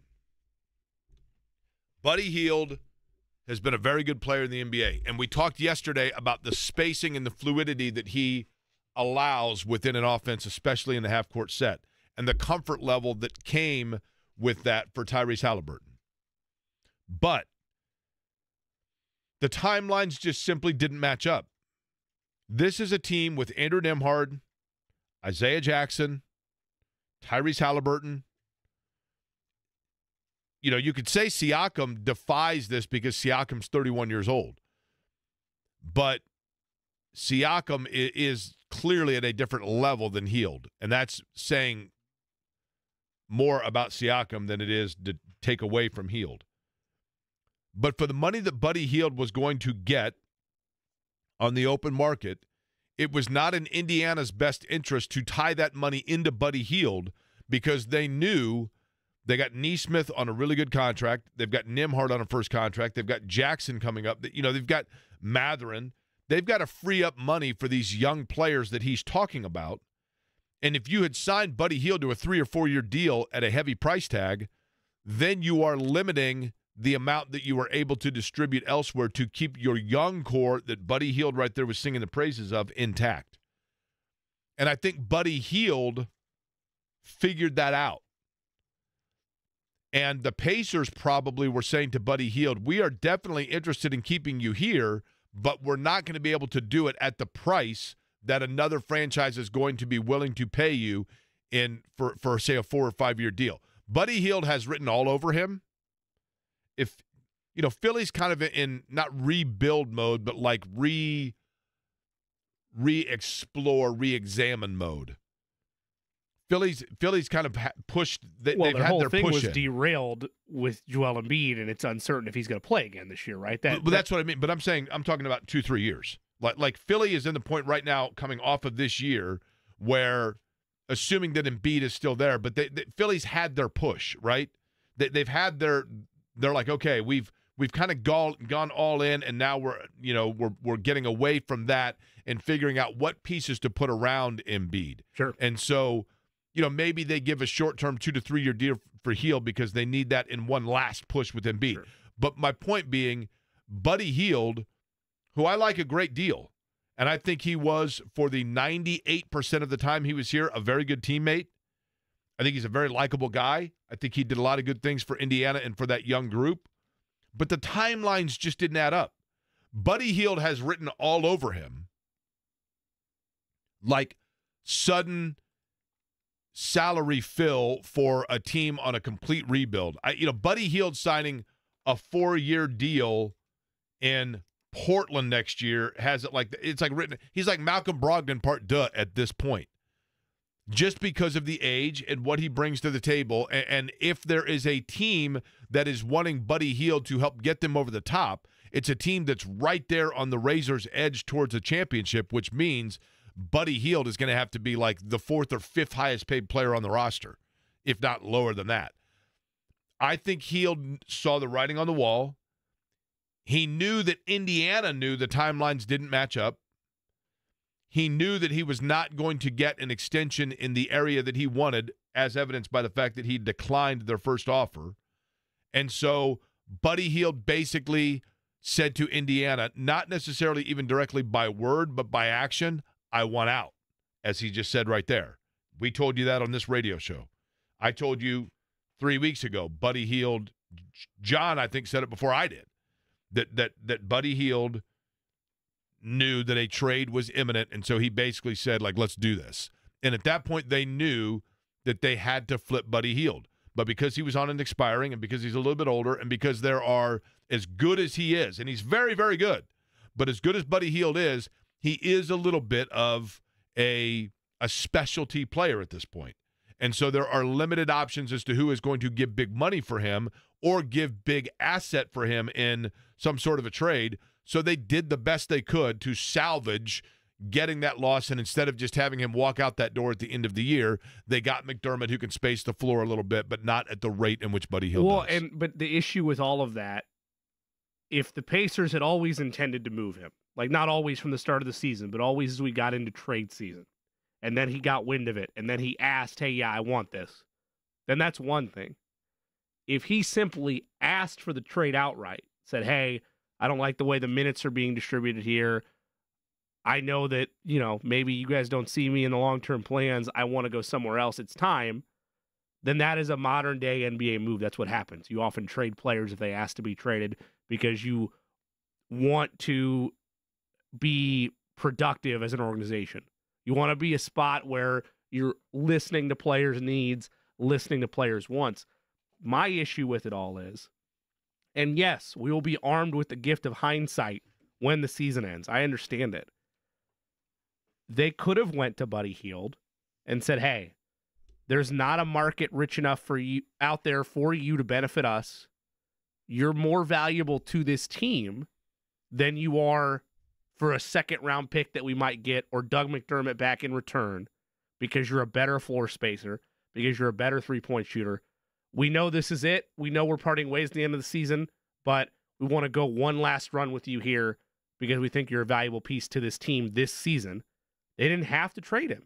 And if their numbers dip offensively, or if the Sixers wind up finishing better than them in part because of Buddy Hield, there's a lot of what if you can look back at this team when that deal happened is to say, was it worth it? Because what they got back was, like you mentioned, a sharpshooter in McDermott who's not as effective as Hield.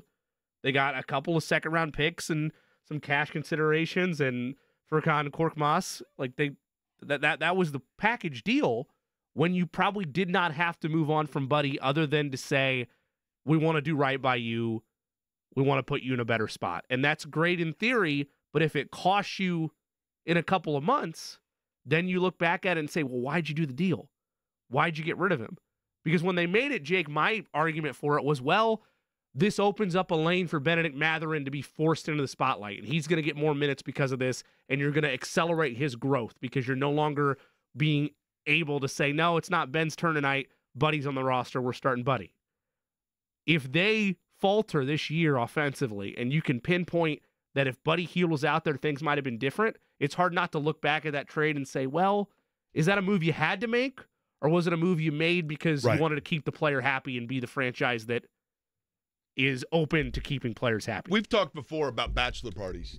Jimmy, you've been to bachelor parties, right? Yes. Eddie, has your friend gotten married?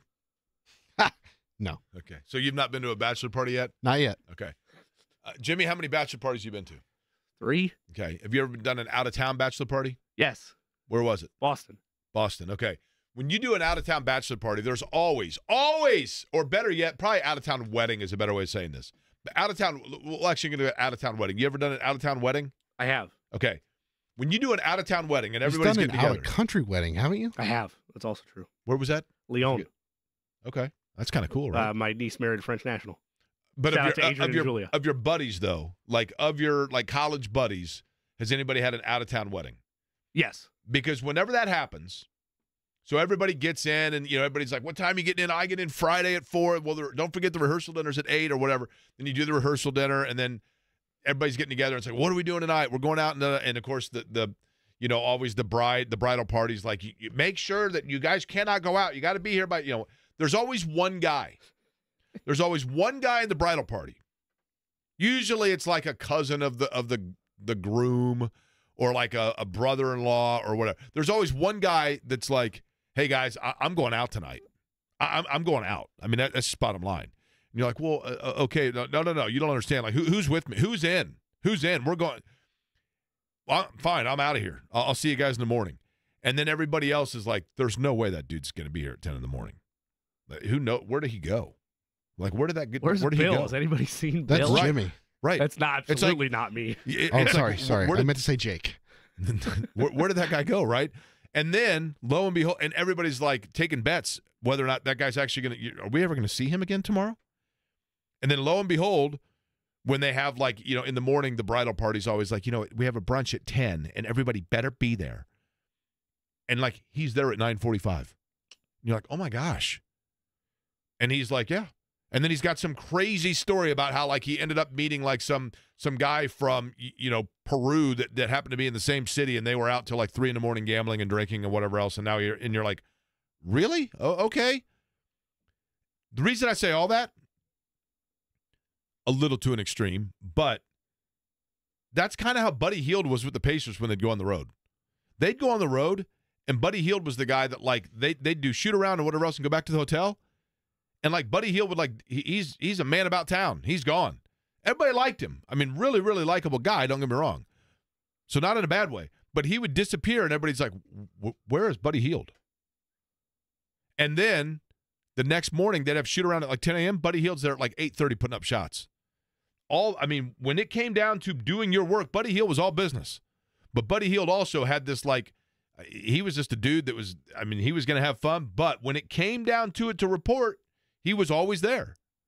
Now, Artest would do the same thing on the road, but in our, in Artest case, they would show up. The Pacers one time had a game in New York where they land, they're taking the bus to their hotel in Midtown Manhattan. They flew into, you know, where and they're on the, the bus, and Artest gets up and is like, hey, this is actually by where I grew up. Can I get out here? Because I'm gonna go see some people. And it's like one o'clock in the morning, and they're like, okay. And he gets out and starts walking. And the next day, he's there. He's at the garden. He's doing shoot around here, you know, eh, Tarrytown, whatever. He's he's there. They had a time one time in it was actually in Detroit. It's like three o'clock in the morning, and they're like, "Where's Artest? He's not in the hotel. Nobody knows where he is." So somebody calls him, and he's like literally in a in twenty degree temperatures at a playground in like eight mile Detroit, putting up shots. Two o'clock in the morning by He himself. wasn't in like. Vegas?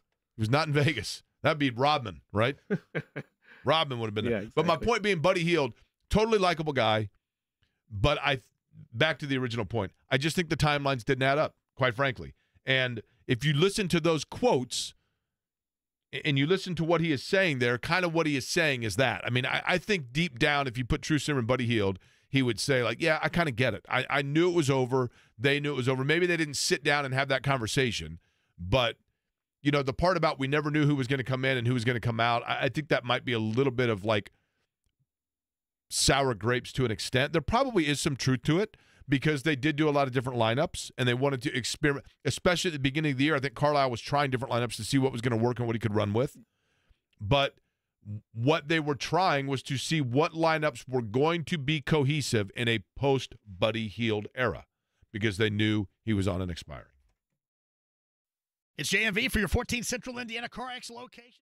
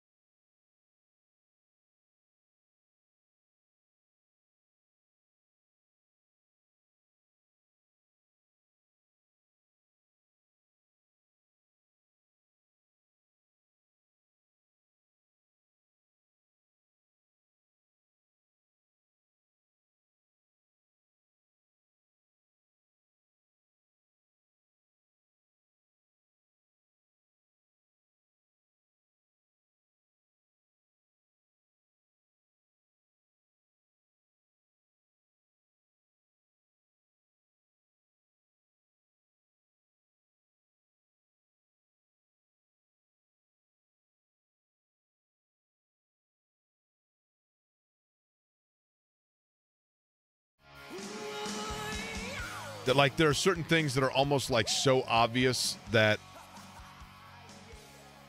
one person comes up with it and you're like, yeah, you know what? And then within like a week, everyone mentions it and you're like, yeah, like the cat's kind of out of the bag. Yes. I have no idea, N- zero, if this is a possibility. I mean, I have, I'm not in the, uh, the meet, excuse me, the meetings, the conversations about like areas and aspects of the Indianapolis 500 and the the stuff that leads up to it. Right? I, I don't know,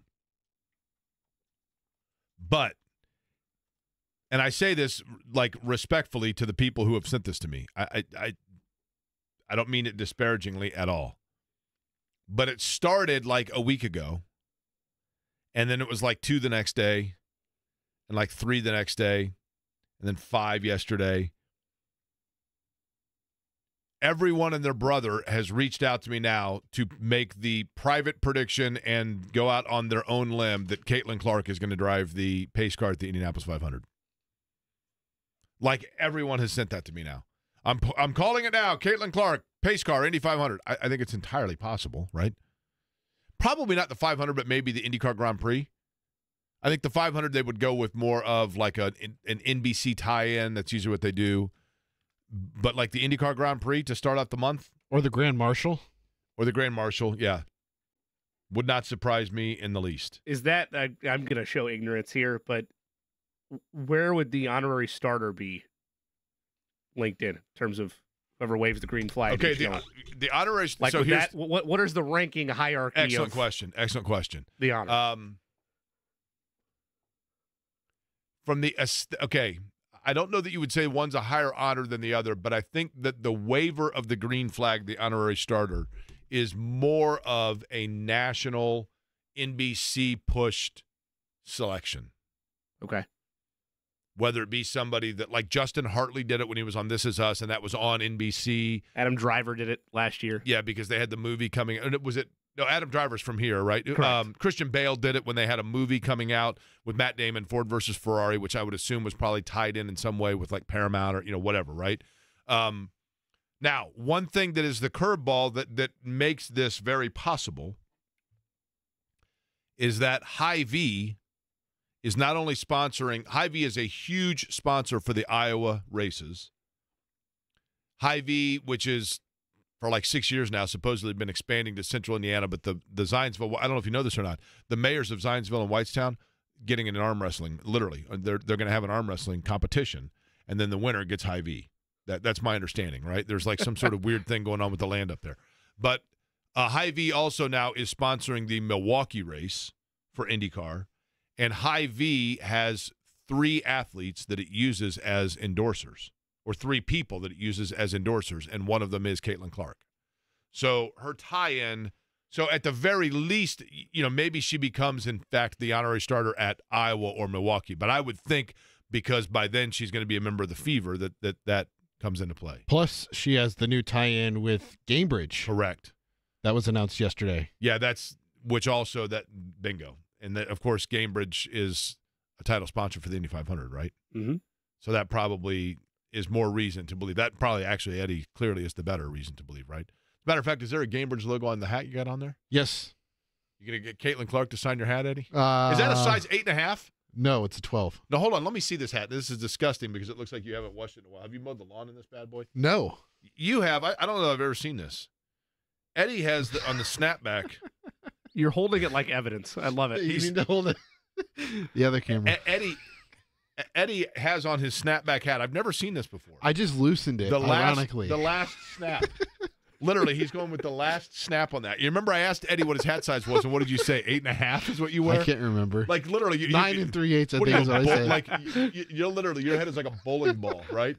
I've got a lot of hair right now, too. It's not Good lord. I've never seen this before. Look at this. The the, the two little snapbacks, they, they they literally snap back and forth because they're they're hanging by one little peg.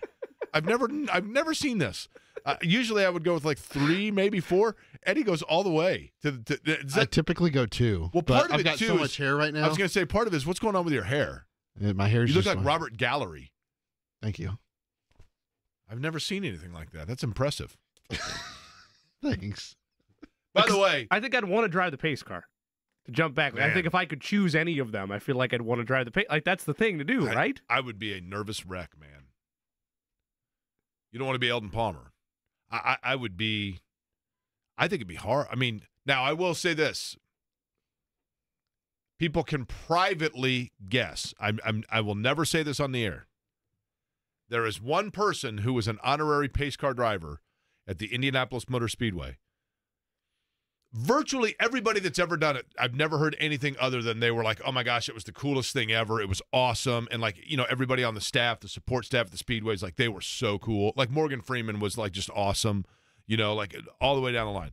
There is one person that I've ever heard of that I have yet to talk to anybody that was close to that person that says anything other than they, as far as I'm concerned, should never come back because they were a complete diva, prima donna, total pain in the backside, a jerk, didn't want to do anything, and an absolute jerk. I'm not saying any. I'm saying this all gender neutral because I won't say who it is, but if you text me and give me your guess, I'll tell you if you're right.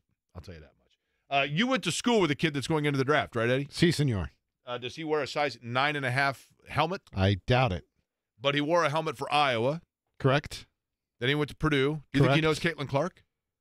Uh, I would assume their paths would have crossed at some point there. In Iowa City, right? Yeah.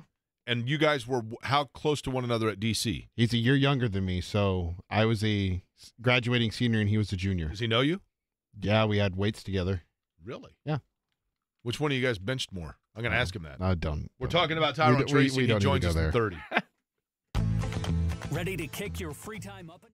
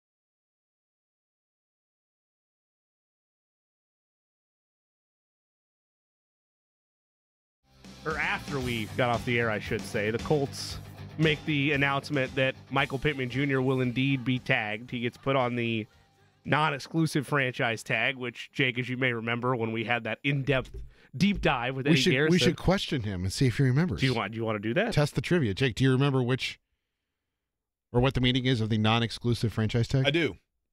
The non exclusive franchise tag means that the player is allowed to negotiate with other teams, but the Colts would have the ability to match any offer they agree to. Correct. Correct. Now, There's what- one more there's another part though. to it. If they allow player to sign with the franchise with which they have come to a better agreement, the Colts would be compensated two first round picks in exchange. Well done. Bingo. Well done. Listen, Circle gets the square. listen. Real quick, by the way, before we get into the Pittman talk, uh, here are the guesses that I have received so far. Uh, Tom Cruise, Ashley Judd, Christina Aguilera, Miles Turner, James Garner, Guy Fieri, Jay Leno, uh, Jim Harbaugh, Elaine Irwin Mellencamp, Danica Patrick, and Patrick Dempsey. All of those are incorrect. Some All solid of those guesses are in there, incorrect. Matter of fact, I have never, of those, I have never met anybody who has said anything that has had interaction with him other than that Jay Leno is one of the nicest human beings they've ever met. I- I've always heard that. Christina Aguilera sang the national anthem at the Chicago CART race in 99 when Dave Furst and I went there, and she had one song so far, Genie in a Bottle, and she in the media center sat there and slept over like nine chairs until it was her turn to go, and then she got up and went and sang the song. It was really good and went went home. Um, Jim Caviezel also not the correct answer. So as for Michael Pittman Jr., were, I was surprised a little bit by the selection of tag they went with.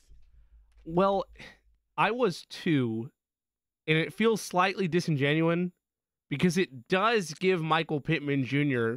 the opportunity to do what he wanted to do. He said going into this process, when asked about it at the end of last season or end of this end of this past season, he wanted to find out what his market value was. I think he said, I'm paraphrasing here, that he'd be a fool not to see what the open market value was for him. He can now do that. The problem is no offer is going to be made for him.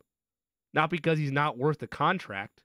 He's worth the contract. I think he would be worth 25, 26 million dollars a year to a team, maybe more. What he's not worth is that plus two first round picks. No, no team's going to do that. Th- th- You could I don't even mean with how deep this draft is. No team is going to give. That's where the wide receiver 2 label is fair. No team is going to give two first round picks plus compensation for Michael Pittman Jr. So I hope it's a useful exercise for him. The only way, it, Jake, it's really a useful exercise for him, though, is if he does not come to terms with the Colts with a long term extension.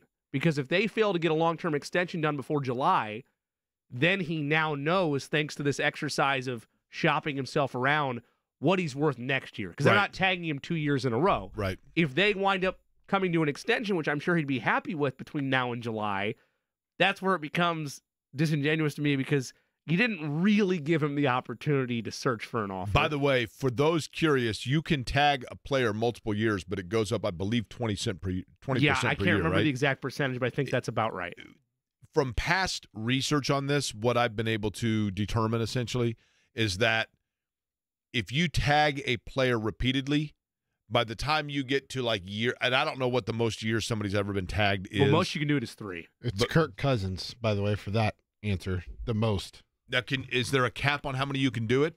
Three times. Because by three, you put yourself in a serious Oh, it's financial insane. hole. You would Yeah, have been yeah. better off just to Correct. have given up to whatever the terms were of the player. Correct. Because Andrew Luck, there was that discussion for a while there of like, would they tag him repeatedly? They came to an agreement, obviously, but Well, and part of the reason you see running backs occasionally get the double tag is because the salaries are so cheap at that position. It's not a cap handcuff. With wide receiver, if you add on an exponential percentage year over year to a tag that's already $21 million, it no longer is a useful tool. You would be better off, again, just writing the check and paying the wide receiver what they want or the defensive tackle what they want than you would be tagging them two years in a row. Running back's really the only one outside of maybe a special teams player that would be useful, like a specialist, like a kicker or a punter, that would be useful to tag year over year because the percentage and the way the monopoly money operates in the league is just not advantageous to the team. It does go up 20%, by the way, each tag after. yeah. So I mean, just imagine if they tag him right now, it's at twenty one, right? So twenty percent of that next year, it would go up to twenty five point two. Then you go another twenty percent of that. Now you're at thirty for a year, you know, and then you go up another 20, you're at 36. I mean, come on. So there's no way they do it more than once. But listen, this is not breaking news by any stretch of the mat. Do we have an anti-breaking news sounder? We need a we need a like an obvious news sounder. What would be our obvious news sounder? Somebody Uh, help me out with that. If we have the breaking news sounder, what's the one that's like the duh sounder? They're like, yeah, of course. like the Homer Doe, like something like that. I don't know. Pretty much, right? Yeah. The non-breaking news sounder. And I I'm fully prepared if this does not go my way. You come up with the wager of what I need to do if I'm wrong on this. Okay. Come up with something if I'm wrong in this. Like like when I've lost the plot. Have you shared yet what it is you're going to be wrong in? No. Because that that matters, I think, to know what the. No, what the- I'm saying what I'm about to tell you, I am so confident Okay. in that I'm willing to do whatever you come up with right now if I'm wrong. Okay. What what, what have you come up with? I have Eddie. Have you come up with anything? Oh no, I'm searching for sounders over here. Sorry. Uh, wear Chiefs gear for a week. Okay. I'll supply it. I mean, with Kevin Bowen, it was like he came in and did a show completely shirtless, Yeah, wearing a long didn't really donuts. But, that- but that's cool. Uh, yeah, Chiefs shirt for a week. Yeah, sure, great. No, no worries there. Uh, the Colts are going to re-sign Michael Pittman Jr. Before July. Yes, they are going to come to an agreement with Michael Pittman Jr. Right. and have him signed. Uh, Like, now, now, will XL work for you? Yeah, oh yeah. Okay, I'm sure. I'm a little offended that you'd ask that. Are you well, saying I wasn't that sure I'd if you were L. I was not going double X. I was going the other way. What do you think? I'm Eddie. I was going cap? the other way. wow, man. I'm I'm going with the the triple snapback on that. Can you? Can you can you add holes to hats like belts? Eddie's Eddie, are you getting the duct tape ready for your hat? You're you're hanging on with one last rung on that snapback. I've never seen that. Did you go with two now? Did you go with two? You Okay. getting self conscious? No, see, I usually went with two, but I just moved it to one to let my head breathe a little. Let my head breathe a little. Well, Take some of the edge off, Jake. now I will admit this. I have a snapback hat that I've had since I was a sophomore in high school that I just cannot part with. Cannot part with it. Is it a Seahawks hat? And it is not. Okay. and I have metallic duct tape around because the, it got so old, the plastic snaps got so brittle they broke. So I have tape on the back of it, which is not as egregious as going to the last snap, but it's close. You know, if you keep this up with these shenanigans, I will not bring you anything back from Seattle. He's putting the foot down. now, what would you what do you what do you have planned bringing me back for Seattle? You see, A Ken Griffey bobblehead? no, Because you're getting one of those, right? because Some um, coffee, No, because I know you don't some drink wacky coffee. tobacco. No, I don't indulge in that either. Nothing against people that do, but I don't. Go ahead. The going. uh, the pro shop for the Seahawks is right next Ah. to the Mariners Hit him where Stadium. it hurts, Eddie. Hit him where it hurts. You gonna bring me back a Jim Zorn jersey? well, I was thinking about bringing you back something with that cool logo and color scheme that you like. you but, got to you admit, know, it is the best logo and color scheme in the awesome. NFL. I would agree. And if you keep up these shenanigans, that will not be happening. You know what you could do actually is you could bring me back a snapback Seahawks hat and see how one actually is supposed to look at the backside Okay. instead instead of all the way with one snap left. I've never seen that before. I will. I will admit, Eddie. Eddie has a flourishing full head of hair. It makes sense. It is way longer than I've ever had look- it in a does look while. Pretty long. You need to go to 459 Barber Lounge. I have a um. Go in there and give I have an yourself a 30 appointment minute scheduled vacation. for Friday morning, Do you at 459? 9 a.m. Really? What about the shave? You got to get the shave while you're there. I can't disclose where the location is at. Oh, okay. Well, you should get the shave. While you, if it's 459, you should get the straight razor shave. That, buddy, is what we call pampering ourselves. Uh, do you think Pittman Jr. will not be re-signed by, by July? Yes, I don't. I, yes, I do not think that he will be re-signed by July. I feel like that the time you could always get a deal done, but I feel like the time for the Colts to flex their muscles and iron something out was the lead up to this tag deadline. The fact that they have not, I think Michael Pittman Jr. To borrow the old "has that dog in him" phrase, I think unless the Colts give him the offer he really wants, that he will view this as a chip on his shoulder type year go power through the tag, and then if the Colts want to pony up, great. But if not, the highest bidder is going to go get me next year, and I'm going to be very happy. So no, I, I don't think they're going to give him the offer he wants. They let him. The thing to me that's interesting is that, and there has to be. I mean, look, they they couldn't come to an agreement by now. The, the the thing is, and I guess this allows them to get compensation in exchange, right? But you're allowing him to up the ante on what you're going to have to pay. Like, Yeah. you know what I mean? I mean, I guess they are running the risk. The, the Colts are banking on this. The Colts are banking on the fact that Pittman has more financial value to them than he would elsewhere, right? That the market is not going to pay him what they're willing to go with. Mm, And if that's the way they think, then I think they're going to. It's going to be an incorrect thought. No, right? I, I I get it, but what I'm saying is because they need him desperately, don't they? Don't they need him more than they need two They- number ones? They at minimum need him this year. You need to have as much groundwork as possible this season alone so that you are not working backwards with Anthony Richardson in his de facto rookie season. So, yes, this year definitively. Long term, I would agree with you, Jake. You could probably use him over the life of Anthony Richardson's rookie deal, the remaining three years that are on there, because you don't have anybody to replicate that. There is not another offensive weapon in the passing game that is at the level of Michael Pittman Jr. as the Colts are currently constructed. So, yes, there's a strong argument. Long term, you need him too, but the reason you had to tag him was because you have no answer without him this year. There's no response, there's no buffer without him this year. This was always a non negotiable thing why they had to keep him. But in terms of long term, do I think the Colts could afford to let him walk? Yeah, if the price is too high. Boy, but we're going to know a lot if all of a sudden we're going to know how far off they are if the Colts go re- receiver in round one, right?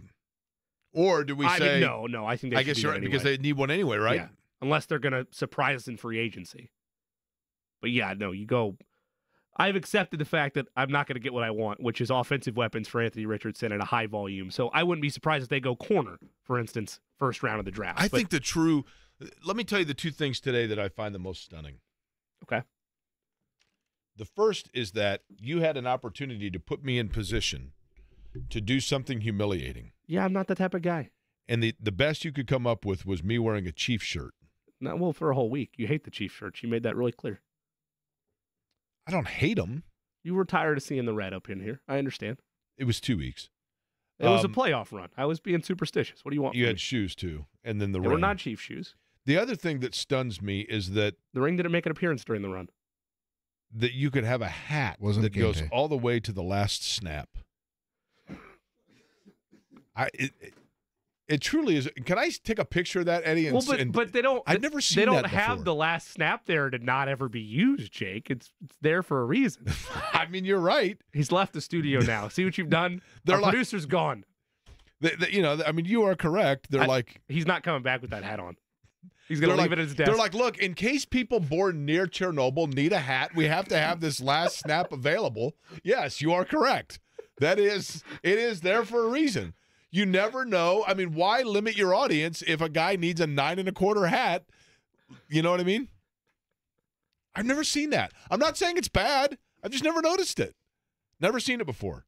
It's teetering. Like literally that that hat, the, the back snap of Eddie's hat literally is like it is it is begging to breathe, baby. You think your head is. I'm with Roy Hibbert in the YouTube chat right now. He's saying this is ridiculous. I don't I don't know why I did to deserve this. It's okay. Wait, wait, wait. Which part does he think ridiculous? The way that Oh, the you're cur- hatred. the way you're currently being treated, or the Yes. idea of using the last snap? Because that's those are two Okay, different don't things. don't you add to this. But they're two different things. They're 2 don't different you things. add to this. It's an anomaly, Eddie. Is it not em- embrace like like soak it in, right? Like look, here's the thing. I'm I am blood type AB negative, right? I am the, the, the- this is the classic there is no greater sign of my love and me some me than the fact that I'm an AB negative blood type. That means that I am the universal acceptor. I can accept anyone's blood, but only people with AB negative can accept my blood. Right? So we are receivers, baby. We ain't giving anything out. There's only like four. There's, there's like two percent of us. So you're saying even, AV people also love them some them is what you're saying? a hundred percent. We ain't sharing anything, Good. right? We're, nobody even asked. It. Nobody even wants my blood, right? So I embrace the anomaly. I embrace the unique nature of that, right? Embrace it, Eddie. You're one of like two to four percent of the population that goes all the way to the last snap. Now- Embrace it. Soak it in. Like I just told you, I usually rock with two. I just had it I mean, it's, at one for listen, that moment. Okay, so you go two snap instead of one. I got- Correct. okay, so you're like ninety percent freak, not hundred percent. Oh, okay, thank you. I mean, you're you're one snap away from a side gig at the carnival, but that's cool. Embrace it. Soak it in. Right. Okay. So if the Colts fail to sign Michael Pittman Jr. I see that, Jimmy. by July, by that deadline, for me, it speaks more towards the Colts philosophically than it does Michael Pittman Jr. overvaluing himself. Because I do agree with you. They should get a deal done before July. I don't think they will because I think they're going to get priced out. And they're going to say, you know what? We'll renegotiate next year and hopefully we're able to retain you. I think it'll say more, though, about the Colts saying, we, I think the Colts, if they do not get a deal done, will be in the camp of most Colts fans that say the following That's a lot of money for a wide receiver, too. That's not how I view him. Right. But there is an undertone there of Colts fans that hear the $25 million a year for four years with 50 million guaranteed. Those are just speculative contract figures, obviously. So do you think of him as a one receiver or like a is is Michael Pittman Jr. your lead receiver and they simply need to put underparts and, and space eaters below him? Or is he a guy that you retain because he is the perfect complementary piece to a stretch receiver? I think he's a top 40 wide receiver in the league. And top 40 wide receivers still make wide receiver one money. When, to your point earlier this week, the cap's always changing. Just because Tyreek Hill made X amount of dollars his last contract, well, the cap wasn't where it was. And so Michael Pittman Jr. is going to be the beneficiary of resetting the market. And then wide receiver ones that are better than him will make more than him. That's the circle of life with contract negotiation in the NFL. But Mike, like if Michael Pittman Jr. was in Buffalo, or Michael Pittman Jr. was in Miami, or Michael Pittman Jr. was in Kansas City, where there's already established receiver one weapons. I know with Kansas City, Kelce's a tight end, but where there's already a top option, he would fit in perfectly because you already have established weapons there, and all you're asking him to do is be him, be a stick seeker, right? Always looking for where the first A down marker is. seeker. I yeah, like he, that. al- he always knows like where the that. first down marker is. Be a possession guy. You're not asking him to be Stefon Diggs. You're asking him to be Michael Pittman Jr. And I think there's value on that to a team that is in a closer spot of contention than the Colts are right now, to the point that Michael Pittman Jr. might look at an offer from the Colts and say, that money's not enough for me when I could get more money or get maybe the same contract and do it with a team that's legitimately close to contention. By the way, do you know what when you're talking about having receivers, whether it be a one or a two, and to, eh, you know, and Anthony Richardson will do plenty of this in the shotgun, right? Sure. Do you know what you're asking the center to do when you're in the shotgun formation? Snap the ball. Snap back. Speaking of which, have you noticed Eddie's hat? I don't know if you've seen this or not. Eddie, can, people are wanting a picture of your hat. Can I see your hat? Can you can you go ahead? No, you got to go with the one snap. By the way, now I you're don't, cheating. I don't No. See, that would be that would that's propaganda.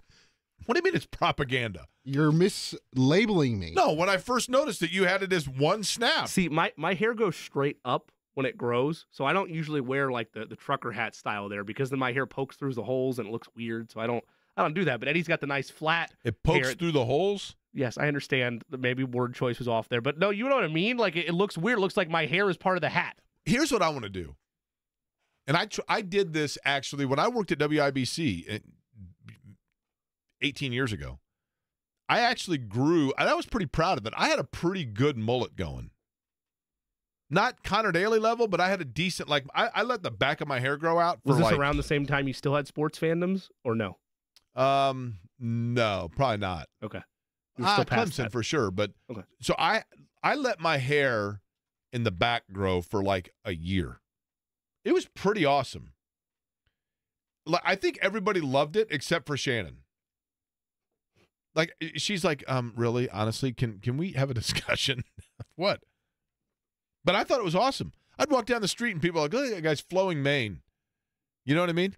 Like I, I, I was in downtown Carmel. People are like, what street are you on? I'm like, is this Main Street? And they're like, well, if you're here, it's Flowing Main. It was that good. It was strong. It, was, it looked good. Surprised I didn't end up with like some sort of a, you know, Zermatt or Pert sponsorship. It, it looked good. Now Eddie's hair, on the other hand, just looks kind of everywhere, right? My hair? Yeah. Yeah. When you took the hat off, your hair is just all over the place. Yeah. You look like superhuman. Thank you. Well, that's the guy that, that jumps into stuff off of his picnic table. You know those um those big hats that people wear now? Those were made for me. Now, now those things aren't legit, right? Uh, I don't think so. I think there's a smaller hat inside the big hat. I mean, no, no, no. What I'm saying is, like, people don't actually wear those because they think it looks cool, right?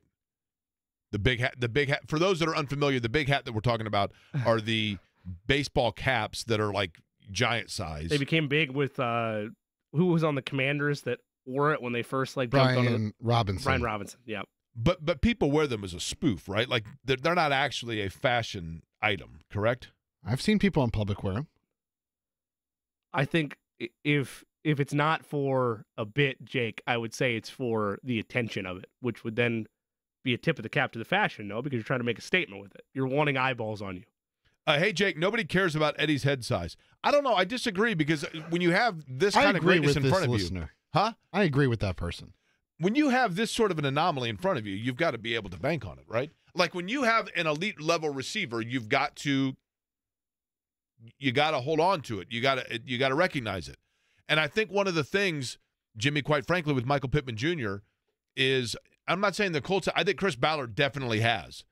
I think Chris Ballard has been vocal about the fact that he recognizes the what he has in Michael Pittman Jr. But I think I feel like fans don't necessarily are, are still debating whether or not he's a one or a two. But I think this last year kind of showed a little bit, right? Well, and you can still be a number one wide receiver to a team and be that valuable, right? Be valuable enough to be a wide receiver one, the top option on a team, without being a top five wide receiver in the league. But my larger point is that if you're in that top 40 range, which I would argue he is, just because by definition you were only in the top 32 in the league to be a wide receiver one in theory, right? Because you'd be the number one on all 32 teams depth chart. If you're in that top 40 range, you are the beneficiary of these salary cap increases and of these market reset moments. And Michael Pittman Jr., it is his turn. Regrettably for him, with the way the franchise tag operates, he's going to be robbed of that turn for a year. But make no mistake about it, if he has the season that I think he's going to have this year, and assuming it's done fully on the tag because they can't come to an agreement before July, he is going to operate with a chip under his shoulder and remind both the Colts and the NFL world at large why he is deserving of a contract of that caliber. I guess the only other positive, Jake, to the non exclusive franchise tag, which does allow him to negotiate with other teams to remind listeners, but if he was to sign a deal, then that team would also give up two first round picks to the Colts. I guess maybe for a pro for the Colts is that if I'm wrong on this and other evaluators are wrong, and his agent comes back and says, hey, listen, uh, the market's actually not what we thought it was. You should take whatever the Colts give you, then maybe that is a, a plus in the Colts column, right? Maybe they're able to get him for less than they would have imagined. But we know at minimum, 21.8, that's that's the starting point because that's what he would play on the cap. Let me read you the attributes of one of the prospects in the NFL draft. Capable kick returner and cover man on special teams. Glides with consistent pace and processing to find his pathways. Spin moves, jump cuts, and contact balance create a high number of yards after contact. Still honing skills as a runner, but ability to handle gadget runs and threaten linebackers out of the backfield could get him on the field very early in his career. Once bench pressed with a guy with a nine and three quarter inch head. Thank you. That's actually in the report. Yeah, Man, it they are says thorough. It, says it right there. Tyrone Tracy Jr., the pride of Decatur Central, Iowa, and Purdue, joins us next.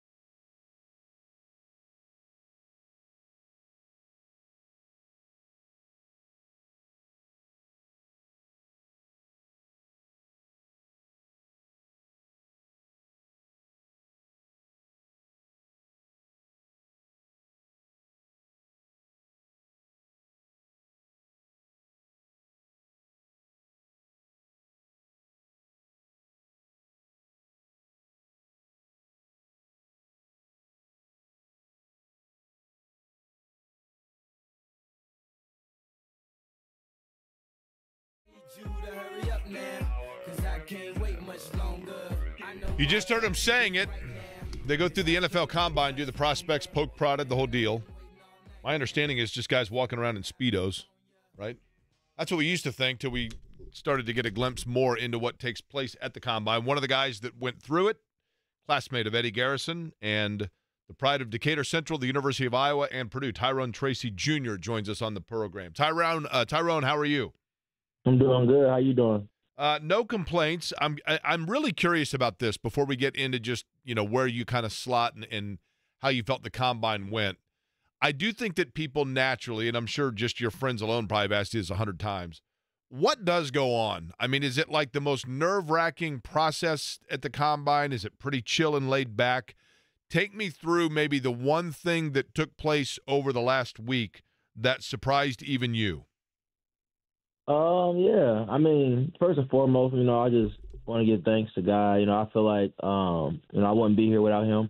Um, and I, I know the process that um, I've been through personally through the combine was very stressful, but um, and it I had a lot of anxiety. But I feel like you know um, that happens when you you're going up against um, you know um, for the the biggest um, interview uh, of your life um, potentially. So um, yeah, I had a lot of a lot of anxiety. Um, I had a, I was very stressful. But the one thing that kind of like surprised me was just how cool everybody was. You know, when you go to the combine um, you know, you're you're at the combine with a lot of um, potentially, you know, top picks of the draft.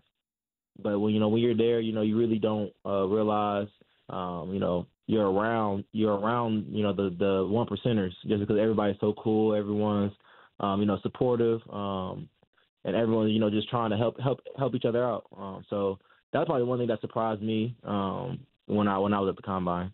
Now, here's the thing, Tyrone. I realize biggest interview of your life. That was until today, right? Because this is actually that now, right? Yeah, yeah. Hey, yeah. um, what did Purdue do to prepare you? I guess what things did you feel like you were able to show on? You know, so much of the combine is maybe to accentuate what's on tape, but what about your game? Do you feel you were able to show in the last year, and what things do you think you can bring to a team?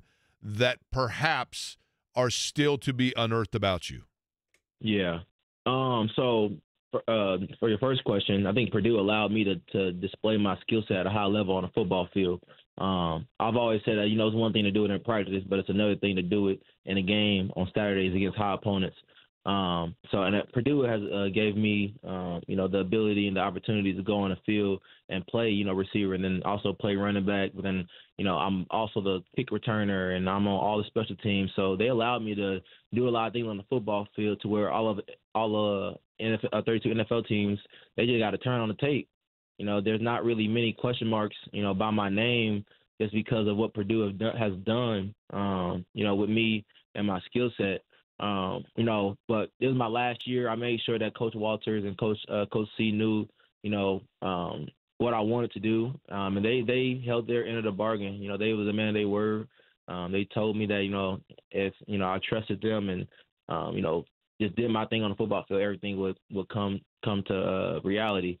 Um, and to, for your second question, um, I feel like I have a lot of things that um, have yet to, uh, that are that haven't that I haven't um, touched yet. Like my ceiling is high, um, just because I've only played one year of running back. Um, but my versatility is probably number one, um, just because I've, I've I can do a lot of things on the football field. And number two have to be my efficiency.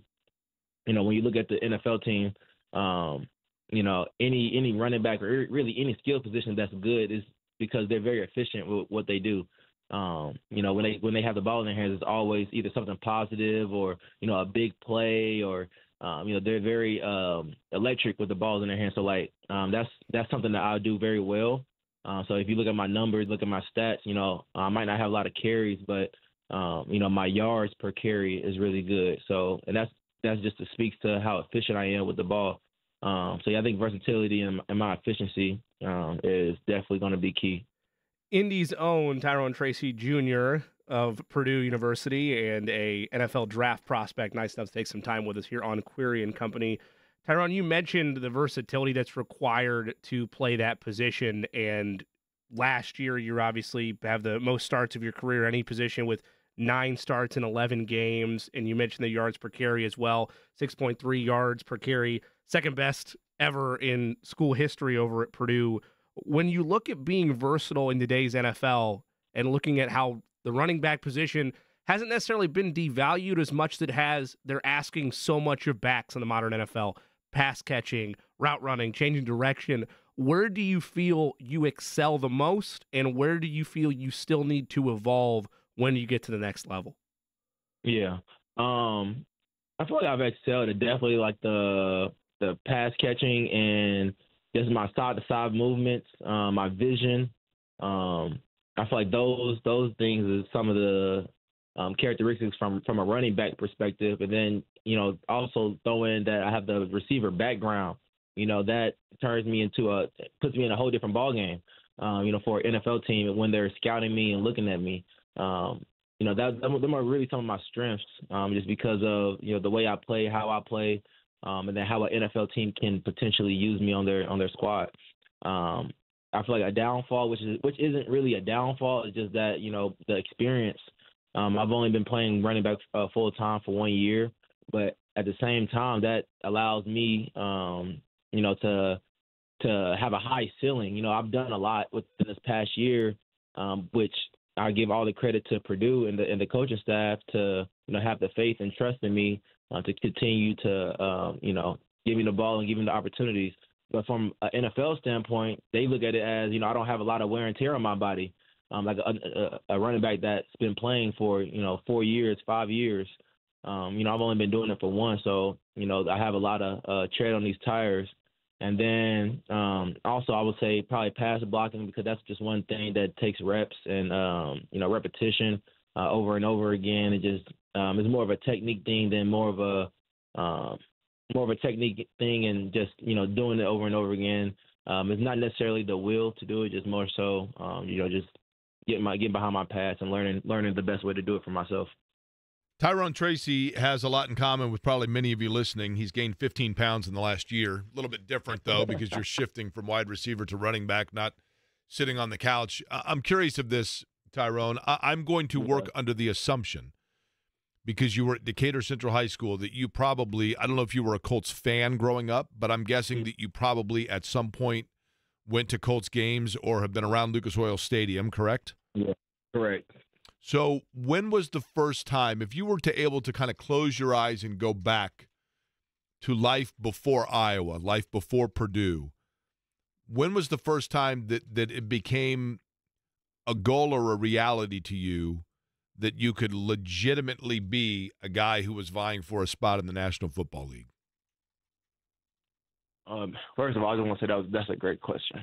Uh, but I was I would have to say probably like I always knew I was like kind of good at football, but like I didn't. I, I knew I was gonna probably you know want to do it for a long time, but like that being realistic with myself, you know, I would probably say either mi- middle school or freshman year of high school when I like I was starting as a freshman, and you know I just you know again Coach Enright and Coach Dixon they have given me the opportunities to you know really just display my skill set on the field.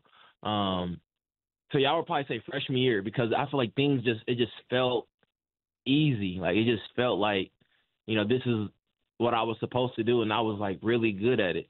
I mean, it, it really it didn't you know take any effort um, on the field. I know that sounds bad to say. No, I understand. I mean, it was a nat- you had natural gifts for it, right? It's very, it's very natural, and I really enjoyed it. Like I enjoyed playing football but not only just playing, like I enjoy working out. You know, I enjoy, you know, all the the ups, the downs. I enjoyed everything. Everything that football offered, I enjoyed doing it. Like I didn't mind going out, you know, working out in the rain at six in the morning, or I didn't mind going to run hills, you know, just so I can get faster, or wearing, you know, um, weights on my ankles at, during middle school just so I can get faster. Like I didn't mind doing anything, any of those things, just because like it was worth it. You know, at the end of the day, I just wanted to be a, a good football player.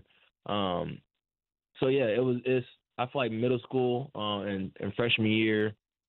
Yeah, that was that was probably the time that I was like, okay, like I can actually, you know, play football, like, and I'm actually like good at it as well. Was there a moment during the combine Was there a moment where you were working out, you were doing the drills, everybody's around, the pressure's on, where a lot of guys maybe reach that kind of breaking point where you were mm-hmm. able to look at your surroundings and immediately put yourself back in that place of being that kid and thus had an advantage of immediately being able to reawaken that drive? Yeah.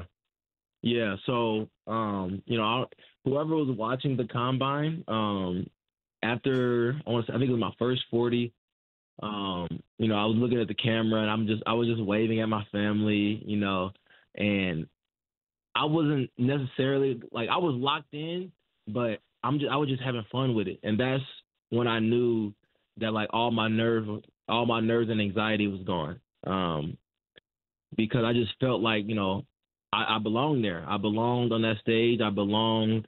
Um, you know, the recognition that I was getting, like, everything was was well deserved. Um, and I just kind of like just took in took in everything. Um, so yeah, that was probably the the moment when I just kind of like relaxed and everything was kind of just taken away because it felt like, you know, this is this is where I was supposed to be. Like I was supposed to be there. I was I was supposed to, you know, have all the ups and the downs that happened to me just to get to this point. Um, you know, a lot of people's past is different, you know, but this was the one that God chose for me. So, um, you know, I really just um, took it in, took in everything, and just um, you know, allowed my my skill set to to do the talking and just you know, I feel like that if a coaching staff, uh, NFL coaching staff, you know, they wants me, that's that was the that's what they're going to get on the field. You know, I'm not going to try to be anybody else but Tyrone Tracy Jr. Purdue's Tyrone Tracy Jr. is our guest. Tyrone, what was your favorite combine drill? Like, I feel like you know, for for us n- normal, non, I won't speak for everybody. I'll speak for myself. Non-athletic individual over here. Like the forty always looks so fun, but when I, you know, if I was ever to run it and it shows up seven or eight seconds, I'm like, okay, well, maybe I didn't want that publicly out there. For you, when you look at all the drills, looking back on it, which one's the most fun? Uh, that's a great question. I um, the Deuce Staley drill. Um, that's the one with like the bags are like a T, and you gotta like step over them, and then you know read the whole afterwards. Um, because that's just straight, you know, footwork. That's straight footwork. That was that was a straight footwork drill. Um, but then also I love I like running routes. You know, I feel like the routes is very easy for me. I like catching the ball. I like making people miss. It it allows me to play in open space. Um, but yeah, but from a from a bags perspective, I would say the Deuce Staley drill where you got to jump over. I mean, uh, step over the bags and then the routes. Did you ask any former Hawkeyes or former Boilermakers or anybody for that matter, but I'm just obviously highlighting those as the two spots you had in college about the combine, like any current or former pros that have gone through it, or did you just go in with maybe what you'd seen on TV? Oh yeah, um, a little bit of both actually. You know, I was before the combine, like especially once I got invited, I was probably watching the combine, you know, every day. Um, you know, just to just to get in that mindset, you know, and un- understand what I was getting myself into. I used to watch interviews and whatnot. Um, but I used to I talked to Geno Stone. He was at Iowa.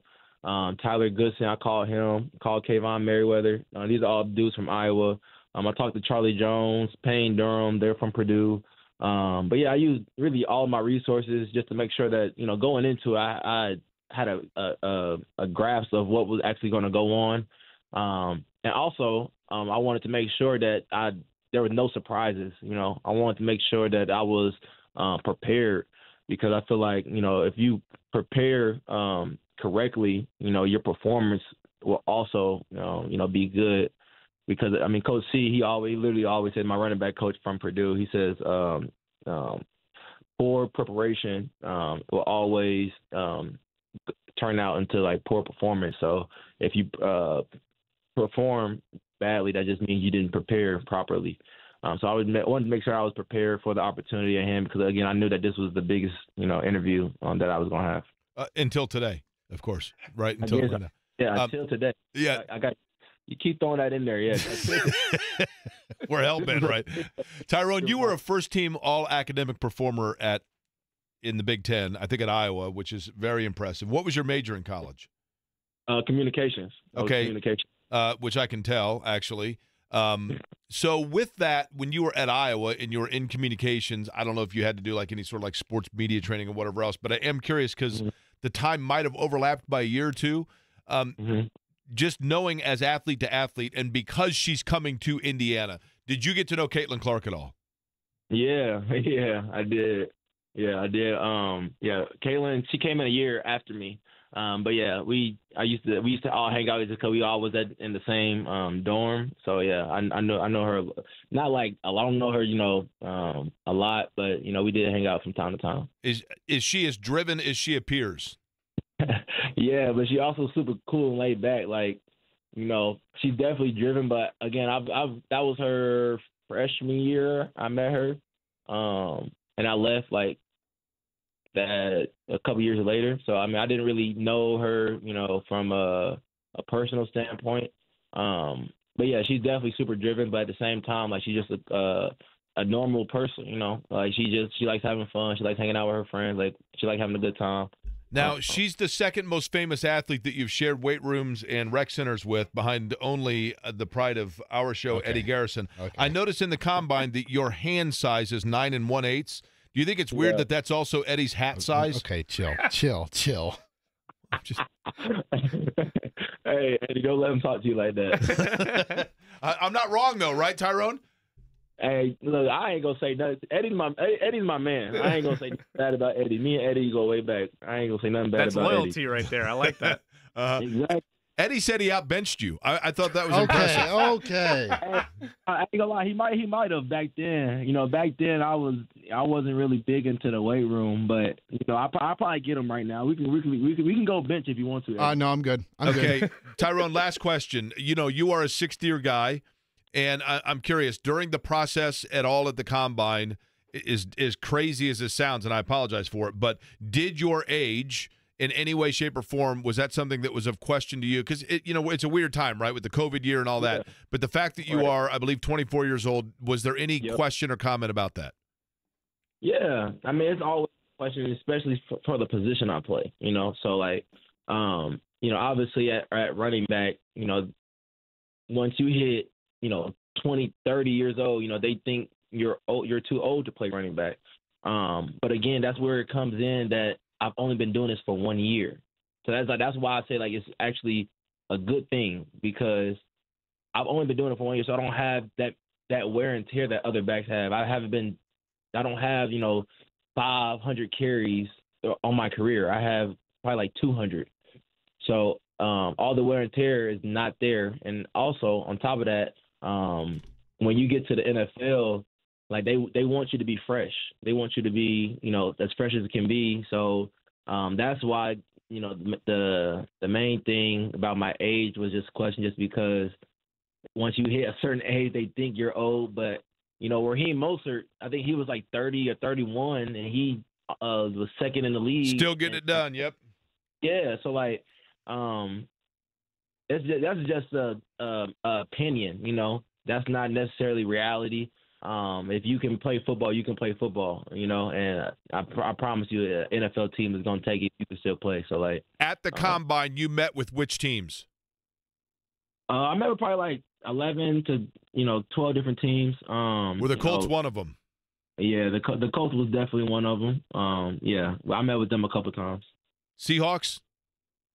Uh, yeah, I met with the Seahawks. I met with. Did you get any Seahawks. swag? I like the Seahawks logo. Did you get any shirts or anything? nah, I didn't get no shirts or nothing. You know, hopefully I get some in the near future. That's right. Whichever. So whichever. Uh, a couple other teams that jumped out at you that, that you met with.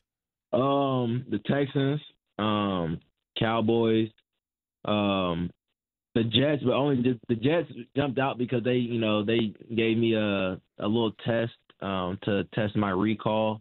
That's and that's why they really jumped out. Um, and the the Bengals, the Bengals as well. Okay. Well, your recall is obviously good because you remembered that Eddie Garrison outbenched you. So that's good, right? You re- you, you passed the test.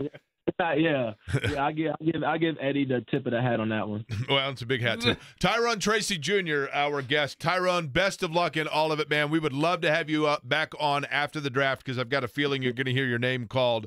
Don't know which day it'll be, but I think it's going to happen, and we certainly wish you the best of luck through the process. I appreciate you guys. Thank you guys for having me. I had a, I had a blast on here. Thank you again. Appreciate it. Tyrone Tracy Jr. with the biggest interview of his life right there. Uh, we'll come back. We'll get Jimmy's picks. We'll wrap it up. March starts here. The Barbasol Horizon.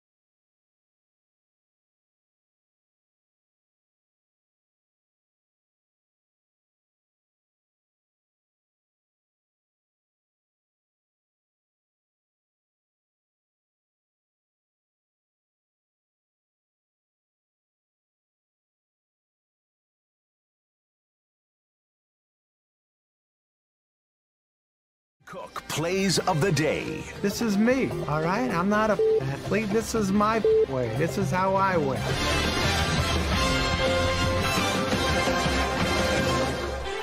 Today's plays of the day. We'll start first with college hoops. A lot of mid major conference tournaments that got started earlier this week take a pause until they get to the semifinals and beyond. But we got round one action first in the Big South. We'll lay five on Radford as they are on the road against USC Upstate. Ohio Valley Conference Tournament round one action. We'll take Tennessee State on the money line over Southern Indiana. That game at Tennessee State. Northeast Conference Tournament round one action. Lay the five on Sacred Heart as they host Wagner. And this will be one that will make the ears happy to hear of Purdue faithful. We'll take Le Moyne on the money line over Fairleigh Dickinson as they, the Dolphins of Le Moyne, host FDU. We also have some Champions League action today. We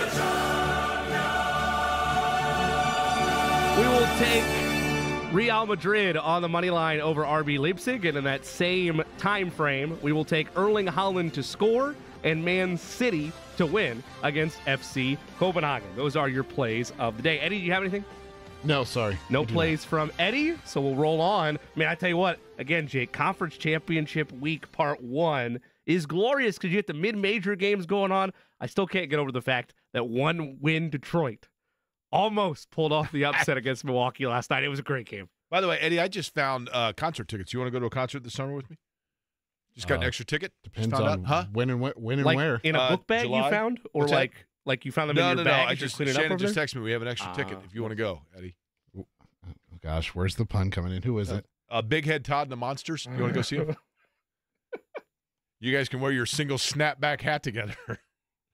Uh, John's up next. We're back at you tomorrow. Michael Grady joins us, by the way. Indiana, Minnesota tonight. We'll talk about that. Indiana, Minnesota in the NBA tomorrow.